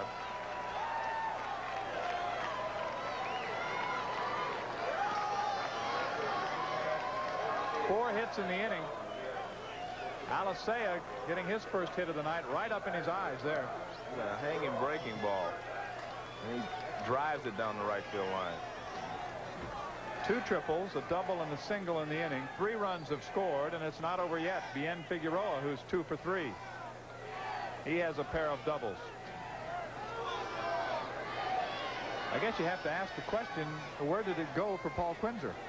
Well, I think that's one of the things about college pitchers. we do have the new pitcher on the mound right now, Kozlowski taking over. Coming on with a record of 5 and 3, and he has 12 saves. There he is, Craig Kozlowski, the new pitcher. In most cases, your college pitchers aren't strong enough to go nine innings.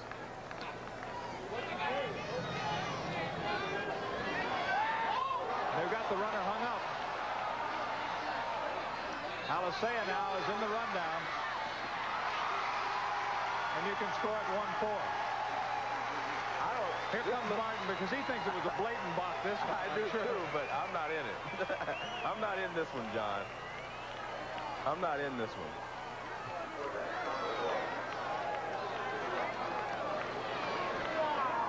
The rules say that once you raise your leg, it has to go completely backwards in order for this not to be a balk. As you can see, that doesn't go completely backwards. that's a move. that that's a dandy. I don't think I've ever seen that. Plate. I've never seen that one either. And Alicea had no idea what he was supposed to do. he knows one thing. He doesn't want to go back there.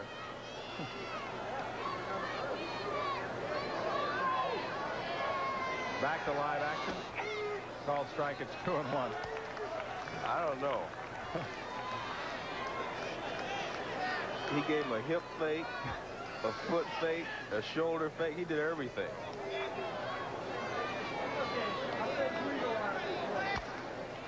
Drops it foul. Count is two and two. Of course, looking on at all of this was Mike Martin. He's all upset, but then again, he looks at the scoreboard and says, okay, we're ahead five to three yes, anyway. I'm going to retain my decorum here before I get out there. Three runs here in the bottom of the seventh inning. It's turned around. It's 5-3 keep in mind a couple more chances coming up for the young men from Terre Haute.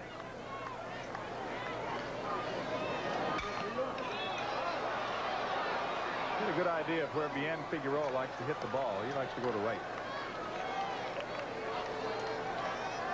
Both of his doubles were down the right field line. Good crowd on hand in Omaha, Nebraska.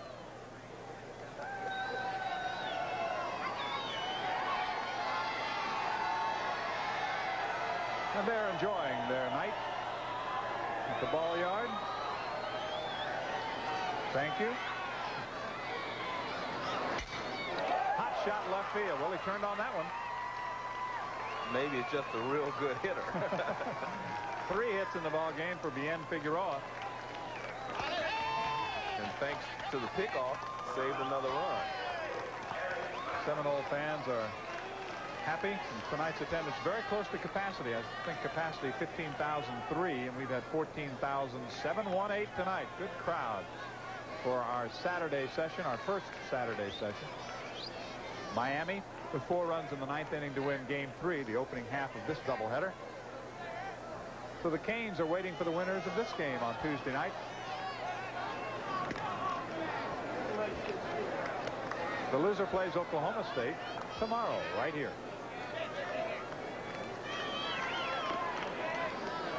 Two outs, the runner at first. There have been five hits in the inning, two triples, two singles, and a double.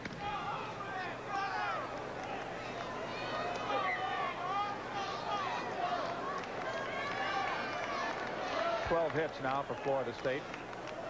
Six for Indiana State, but the Sycamores aren't out of it. There's the bunt. Foul. Mangum has struck out a couple of times tonight and grounded out. Irv? I tell you, Kozlowski's got an interesting hold on. We'll pick up the next time, guys, because he's really hard to read. But tell you what's interesting over here. Joe, you made a great comment. These guys are number one. They had a quiet little meeting before the inning started and said, look, we didn't get here by accident. We're a good ball club. We've got to be aggressive with the sticks. You're seeing the ball good, and I think you uh, have seen what has happened. They have just been ripping. They definitely have been a little more aggressive this inning than they were the last three or four innings. So back to work goes Craig Kozlowski, a senior from Chicago, Illinois. Craig is 23. Swing and a miss by Mangum. And Eric is in danger of striking out for the third time. RBIs in this inning to Marzan and Sorrento with triples and Alicea with a double.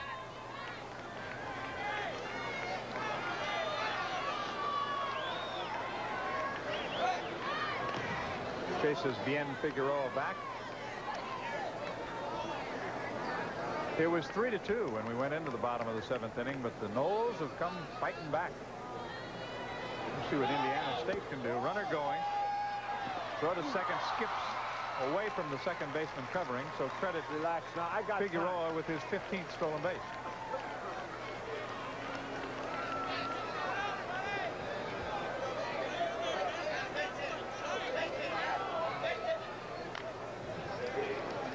Gets a good jump. So I guess his leg's not bothering when he wants to steal a base. It's a real weird slide. Almost kind of went in sideways, didn't Yeah. it? That is hit hard into left field. Coming on is Burt. And the inning is over, but not before five hits account for three runs. And the Seminoles of Florida State, number one in the nation, have come back to take a 5-3 lead. We go to the eighth inning for the Sycamores of Indiana State. Roman, Fry, Rodriguez due up. We're in Omaha, Nebraska for the 1986 NCAA College World Series. The ball jumping all over the place as Florida State comes back. Florida State coming up with three runs in the bottom half of the seventh to jump out ahead of Indiana State now by a score of five to three. And the new third baseman is Chad McClellan picking up for Blackwell who had been there. Billy got a base hit. Barry got a base hit. And Keith Kidd ran for him. So that brings us with the new third baseman as we go to the eighth inning now. It is Dan Roman. One for three. Loynd is still out there. We can close the book now on Paul Quinzer. All five runs are charged to him. And all five are earned. This is where Mike Martin says Mike Loynd really gets tough. He is a finisher. We're in the eighth, 5-3 now. Florida State. Hot shot, left field base hit. So we'll see if the Sycamores can come back. A leadoff single. They are beginning to throw now behind Mike Loynd. And it's an excellent contrast because Richie Lewis, who throws bullets, is starting to warm up. You can bet that Bob Warren has not given up yet. See if his team can come from behind. One thing about college baseball, and I've seen here at the College World Series, no one ever gives up. Fry double to drive in a run in the third inning. A pair in the third and one in the fourth for Indiana State. Florida State with one in the first, one in the sixth, and that three-run seventh inning. It's now the eighth, one on, nobody out. Don't go away. Fry showed bunt, took it up high for a ball.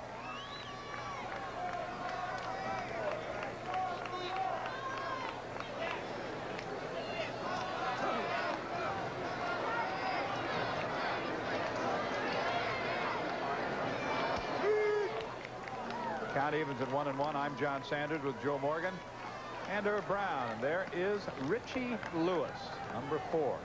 You talk about a bulldog. That's one right there. he can really bring it. Throw to first.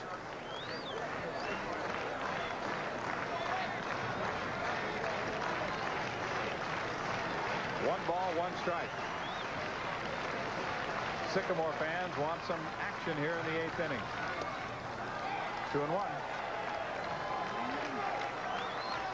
We know the tendency of Coach Bob Warren, what he likes to do in this situation. You wonder if he would take the bat out of the hand of Paul Fry. Well, I don't think he should because Paul Fry has swung the bat awfully well tonight, and he's been leading them. Tried to hold up, couldn't do it. It's two and two. It was a strike anyway. Good slider on the inside corner.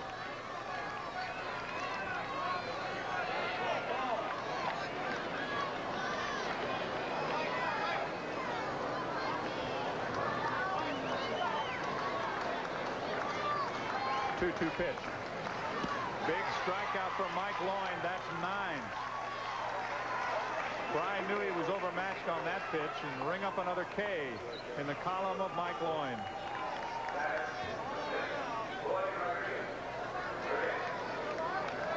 This is the good sharp breaking curveball. By the time Fry swings at it, it's way out of the strike zone.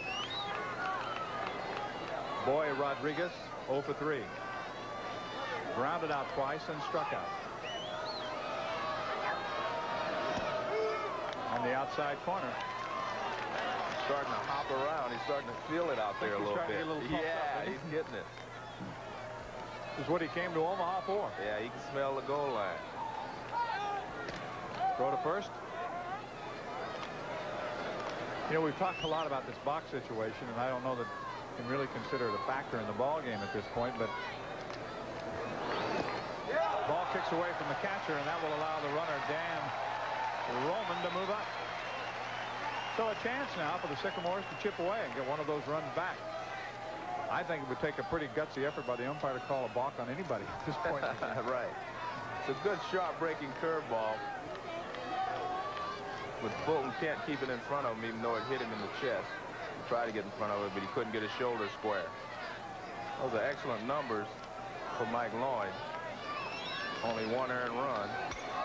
There's a pop-up on the right side.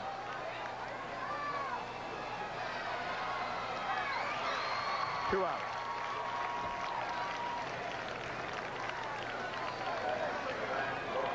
Watch Loynd here as his curveball pops up. Look at him. He's excited. He's starting to feel it.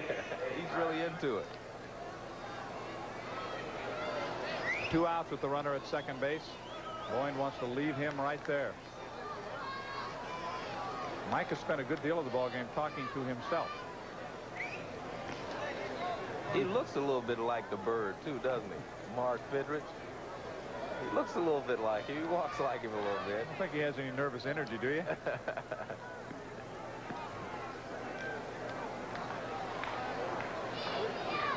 well, he's walked about a quarter of a mile and he's still not on the rubber yet waiting for the batter to step in. And it will be Sean Hamilton to pinch hit for Dave Travis as the DH.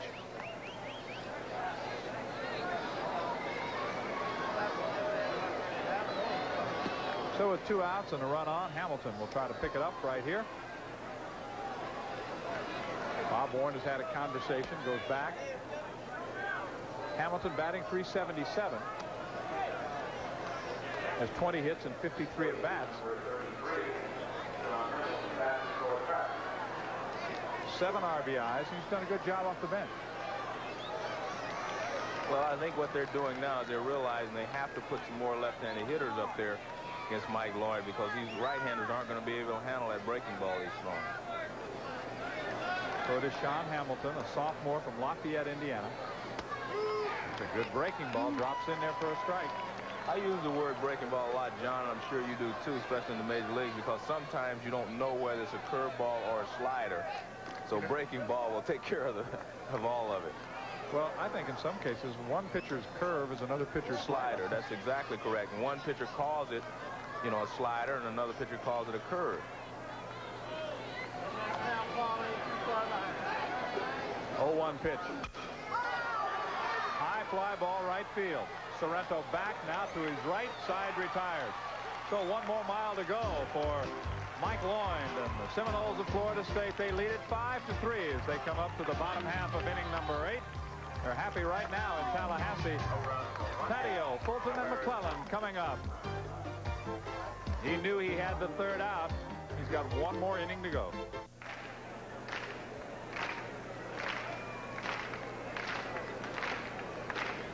It is 5-3. Florida State doing the damage there, as you see in the bottom of the seventh inning. We're now in the bottom of the eighth inning. After picking up the final two-thirds of that seventh inning, it is Craig Kozlowski on again to face the Seminoles here. Taddeo Fulton and McClellan. One and one the count. Taddeo base hit on RBI in the sixth inning. He's had a good night at the plate. He's two for three. As the designated hitter, winner of this game will play Miami on Tuesday night here in Omaha. 8 o'clock Eastern time for that one. The loser will face Oklahoma State tomorrow night at 8 o'clock. And yes, the Noles like playing on Saturdays.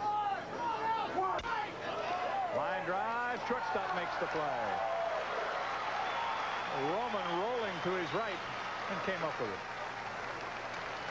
That's a good play because when you're running to your right, you always have to backhand the ball if you're right-handed, of course.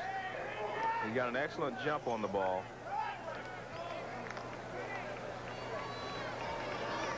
He probably was a gymnast, too. Notice how he kind of dove over his glove, too, to make sure that he didn't... Yeah, it looks a little bit like Ozzie Smith there. Make sure that he didn't knock the ball out of his glove. That's the first out, and Ed Fulton at the plate, breaking ball for a called strike one. Ed is 0 for 2 with a walk tonight. Five runs on 12 hits for Florida State. Three runs, seven hits for Indiana State, and each team has committed an error. Ground ball, first baseman cuts it off. Buell to Kozlowski, and two quick outs in the bottom of the eighth.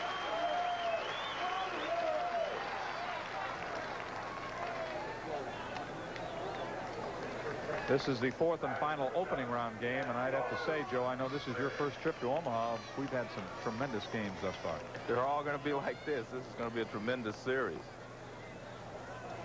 No one is eliminated yet. We'll start working on that tomorrow, starting with LSU and Maine at 5 o'clock. Oklahoma State and the loser of this game at 8 o'clock. Both of those games live on ESPN. And Monday night to the winner's bracket. Loyola Marymount against Arizona. That'll be 8 o'clock Monday night. Tuesday, it's Miami waiting for the winner of this game, 8 o'clock Eastern Time. And as we move on to Wednesday, we'll have another doubleheader. Well, plenty of baseball to go. It's a long road to Omaha. And once you get here, there's still a lot of turns to make and some potholes before you can take home that championship hardware.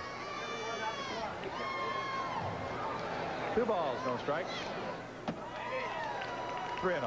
One thing I really like about the format here, John, is that baseball is a lot different than, say, basketball in the Final Four where you play one game and you're out. Because in basketball, the players can control the game a lot more. In baseball, baseball is a game of inches. And one little pitch or one thing can turn the game around.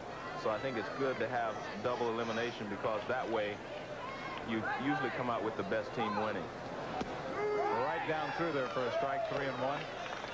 Because on any given day in baseball, any team can beat another team because there's so many variables, as you mentioned, in the game of baseball.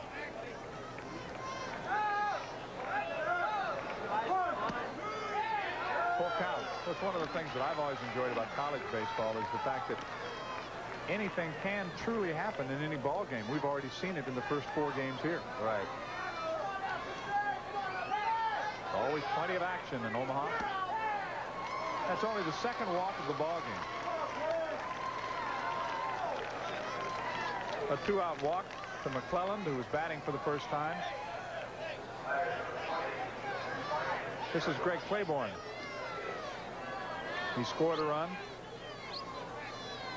Has a base hit. One for three officially. Two outs. One on. It's only 5-3. And the Sycamores have another shot at him in the ninth inning. Good fastball that time. Excellent. Kozlowski or Brown? John, I'll tell you what they're going to do. They could go with the delay. If uh, Blackwell feels that he can do something late, and they're having a tough time running on Indiana State, they do as good a job as anybody I've seen holding you close. If they do steal, it'll be a delay. In other words, they'll wait till the ball is delivered, try and catch a catcher napping. He's going. There it was. It's cut off by the third baseman. Throw to second is in time. Rodriguez went to Lexa for the force out that ends the inning. So that'll do it in the bottom half of the eighth. We have one more mile to go, though. Florida State trying to protect a 5-3 lead as we go to the top half of the ninth. For the Sycamores of Indiana State, their last chance will come with Lexa leading off. That's the way the inning ended.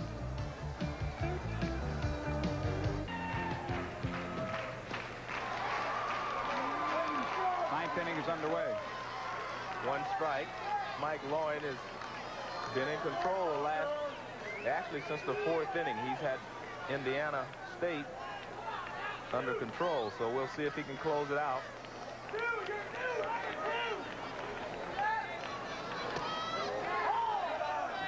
Has definitely been able to keep the breaking ball down.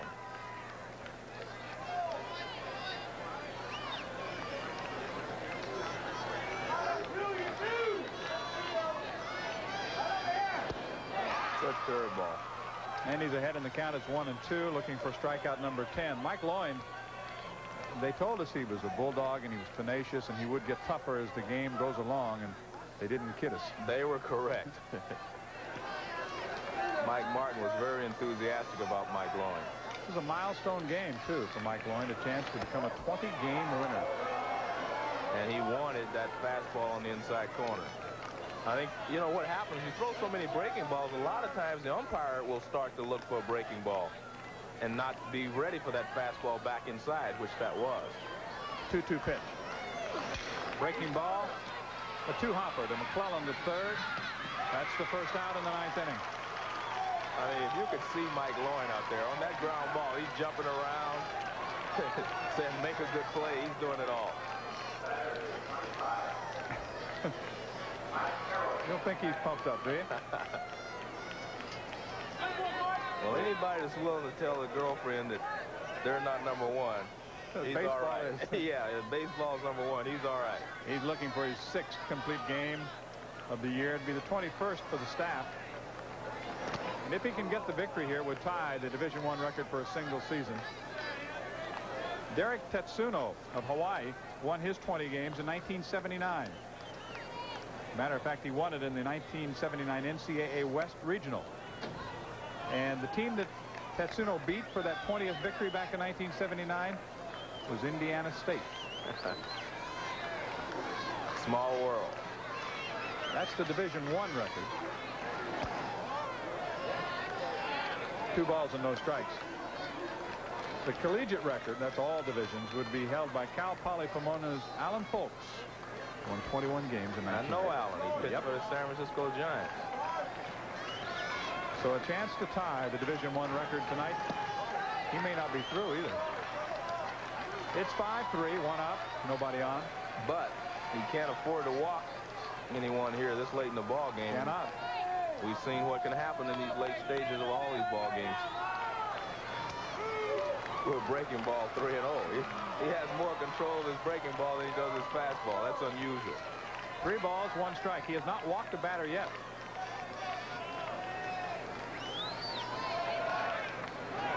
Now he has. So that will bring the tying run to the plate. And we've said it before and we've seen it before. Anything can happen. And Jeff Buell has been a, one of his thorns tonight.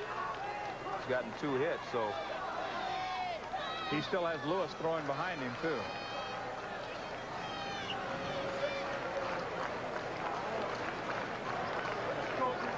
We have a pinch runner.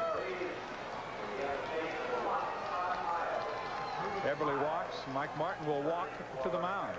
And we will have Todd Miles on as the pinch runner. So number one, Todd Miles, a 20-year-old freshman from Terre Haute, will pinch run. Loynd, Fulton, and Martin will chat at the mound. I don't believe he's going to take him out.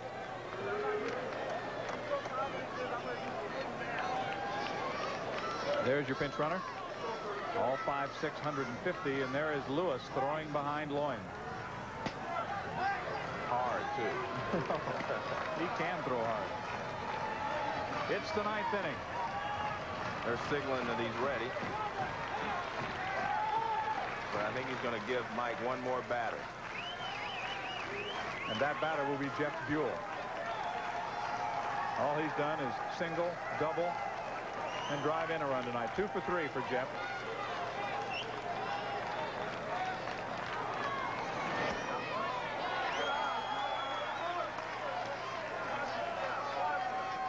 It's the ninth and the tying run at the plate.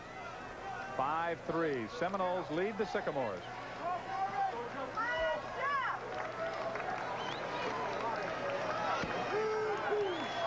Now, there wasn't much different from the first one. No, but that one didn't break quite as sharply in. The other one broke down and in. That one broke more down, I guess. Good numbers through eight and one third, but he's got a couple more hurdles to get over. Two balls and one strike, and defensively they will move behind the runner at first. Which is the way they should play it. Last night they didn't do that because the runner at first base doesn't mean anything in this ball game. The tying run is at the plate, so that's the guy you're after. You don't care what the guy on first base does. You can let him steal, do anything he wants. You want Buell at the plate. Foul back, count evens at 2-2. And you know how much Mike Loynd wants to get the complete game for his 20th win, too. He's got a lot of Seminole fans pulling along with him. Sycamores have not quit. Still got a chance here in the ninth inning. You don't believe it. Ask the folks at Maine. when Arizona came roaring back to win in the bottom of the ninth in game two. Ask Oklahoma State as Miami came up with four in the top of the ninth to win game three. Had plenty of ninth inning magic thus far. I think they may be having a discussion on what the, he thinks the pitch might be, or Bob might be picking something up from someplace, and he's going to try to relay it into Jeff Buell. Two and two. One out, one on. Top of the ninth. Did he go for it? Yes, he did. I thought it was a foul tip, but I guess not. Well, that will bring Bob Warren to the plate. He'll have the discussion. The umpire ringing up the strikeout, which would be 10 for Loynd.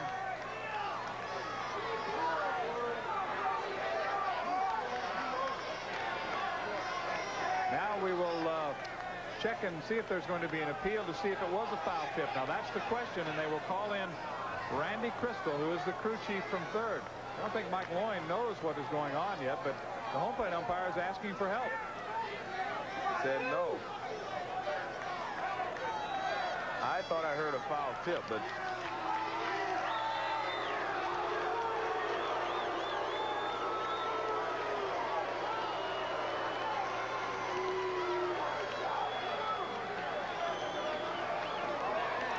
definitely, he definitely swings at the pitch. He takes it too far. But I guess he didn't touch it. Doesn't look like he does no. touch it. You can see that the home plate umpire doesn't think so. This man, Bob Warren, thinks he did. Anyway, they're down to their last out.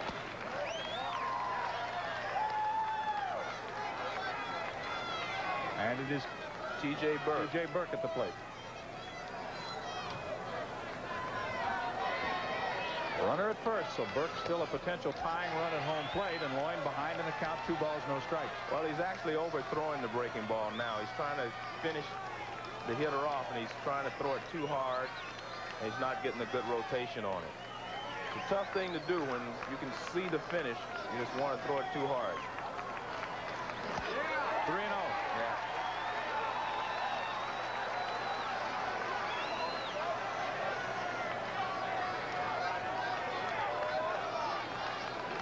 Oh, he wants it, doesn't he? Yes, he does. But that's the danger of a breaking ball pitcher getting pumped up. You'll overthrow, the breaking ball, and if you do that, you can't get it in the strike zone. Three balls and one strike. Why it's so tough to be a good breaking ball pitcher. TJ one for two, had a base hit his last time up. That's right down through there for the strike. It's full at three and two. I bet you can't guess what this pitch will be. well, T.J. Burke better look for the breaking ball here. And last night in game two, came down to a 3-2 pitch with a man on and two outs. Game on the line, and it was a pinch hit home run by Dave Chermet that sent Arizona State onto the winner's bracket, or rather Arizona onto the winner's bracket over Maine 8-7. They're still alive. Base hit left field. The runner will head for third. So with two outs, runners at the corner, the ball kicks away, but no further advancement. Only because they had good backup from the right fielder. So Burke comes through with a big two-out base hit. And now the tying runners are on base, and the potential go-ahead run will be at the plate in the person of Bob Zion. Now what do you do if you're Mike Martin? He's got a decision to make. Zion is a left-handed batter, but it doesn't matter because Richie Lewis is a right-handed pitcher. The only question here, do you want to stay with the guy who throws the breaking ball, or do you want to go with the guy that throws the fastball? I think he's going with the guy that throws the fastball. So Mike Loynd will not finish a potential 20th victory for the season. It will be Richie Lewis coming out of the bullpen to try to put out the fire. Florida State still needs one more out to advance in the NCAA College World Series. Mike Loynd did not want to leave this game, but he wants to make sure that the guy that replaces him knows how important this is. Pay attention to me.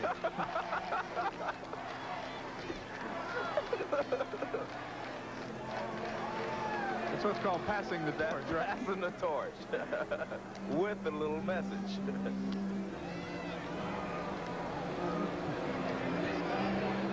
Mike Loynd's a real, he's a real, you know, tough competitor. There was a game earlier this year, John, where he came in and he was striking out guys left and right. He threw a curveball to the hitter, struck him out, and yelled over to the bench, next, bring the next one on. He is really a cocky guy, and he knows what he's doing, and he's a great competitor. I really like that. And he pitched a great ball game. Eight and two-thirds innings, game. eight hits, ten strikeouts, one walk. Three runs at this point. The two runners on base are his responsibility. Now, uh, two of those runs are not earned, and the folks from Terre Haute have not quit. They have not given up. Richie Lewis on in relief. He is 12 and 2 with two saves, as you saw. Mike Loynd threw 140 pitches before he departed. And Lewis has 178 strikeouts in 110 innings. Look for the fastball, fellas. He sort of throws him a break. I was going to say, yeah, that was a pretty good yacker, too. that was a good curveball. Runner at third is the pinch runner, Todd Miles. The runner at first with the base hit is T.J. Burke. They represent the potential tying runs. Another breaking ball. But this is something I'll never understand, and I've seen it twice now in the College World Series, John. The outfielders are playing the same depth that they were throughout the ball game. In a situation where the tying run or the winning runs on first base, you have to keep the ball in front of you. You play back deeper and cut off everything. You play and let them hit a ball over your head, and the score will be tied very quickly. There was the heater. You cannot let a ball be hit over your head with two outs in a tie ball game or a one-run ball game. One ball and two strikes, and they continue to throw in the bullpen for Florida State, but Mike Loynd is not, he's on the top step of the dugout. I think he still wants to pitch. they want this pitch away. Fastball got him. Good fastball. Lewis with two breaking pitches, two fastballs, finishes it up. No runs, two left in the ninth inning. Florida State, the top-ranked team in collegiate baseball coming into the NCAA World Series, advances with a 5-3 win over Indiana State. We'll be back to Rosenblatt Stadium in Omaha, Nebraska, right after this.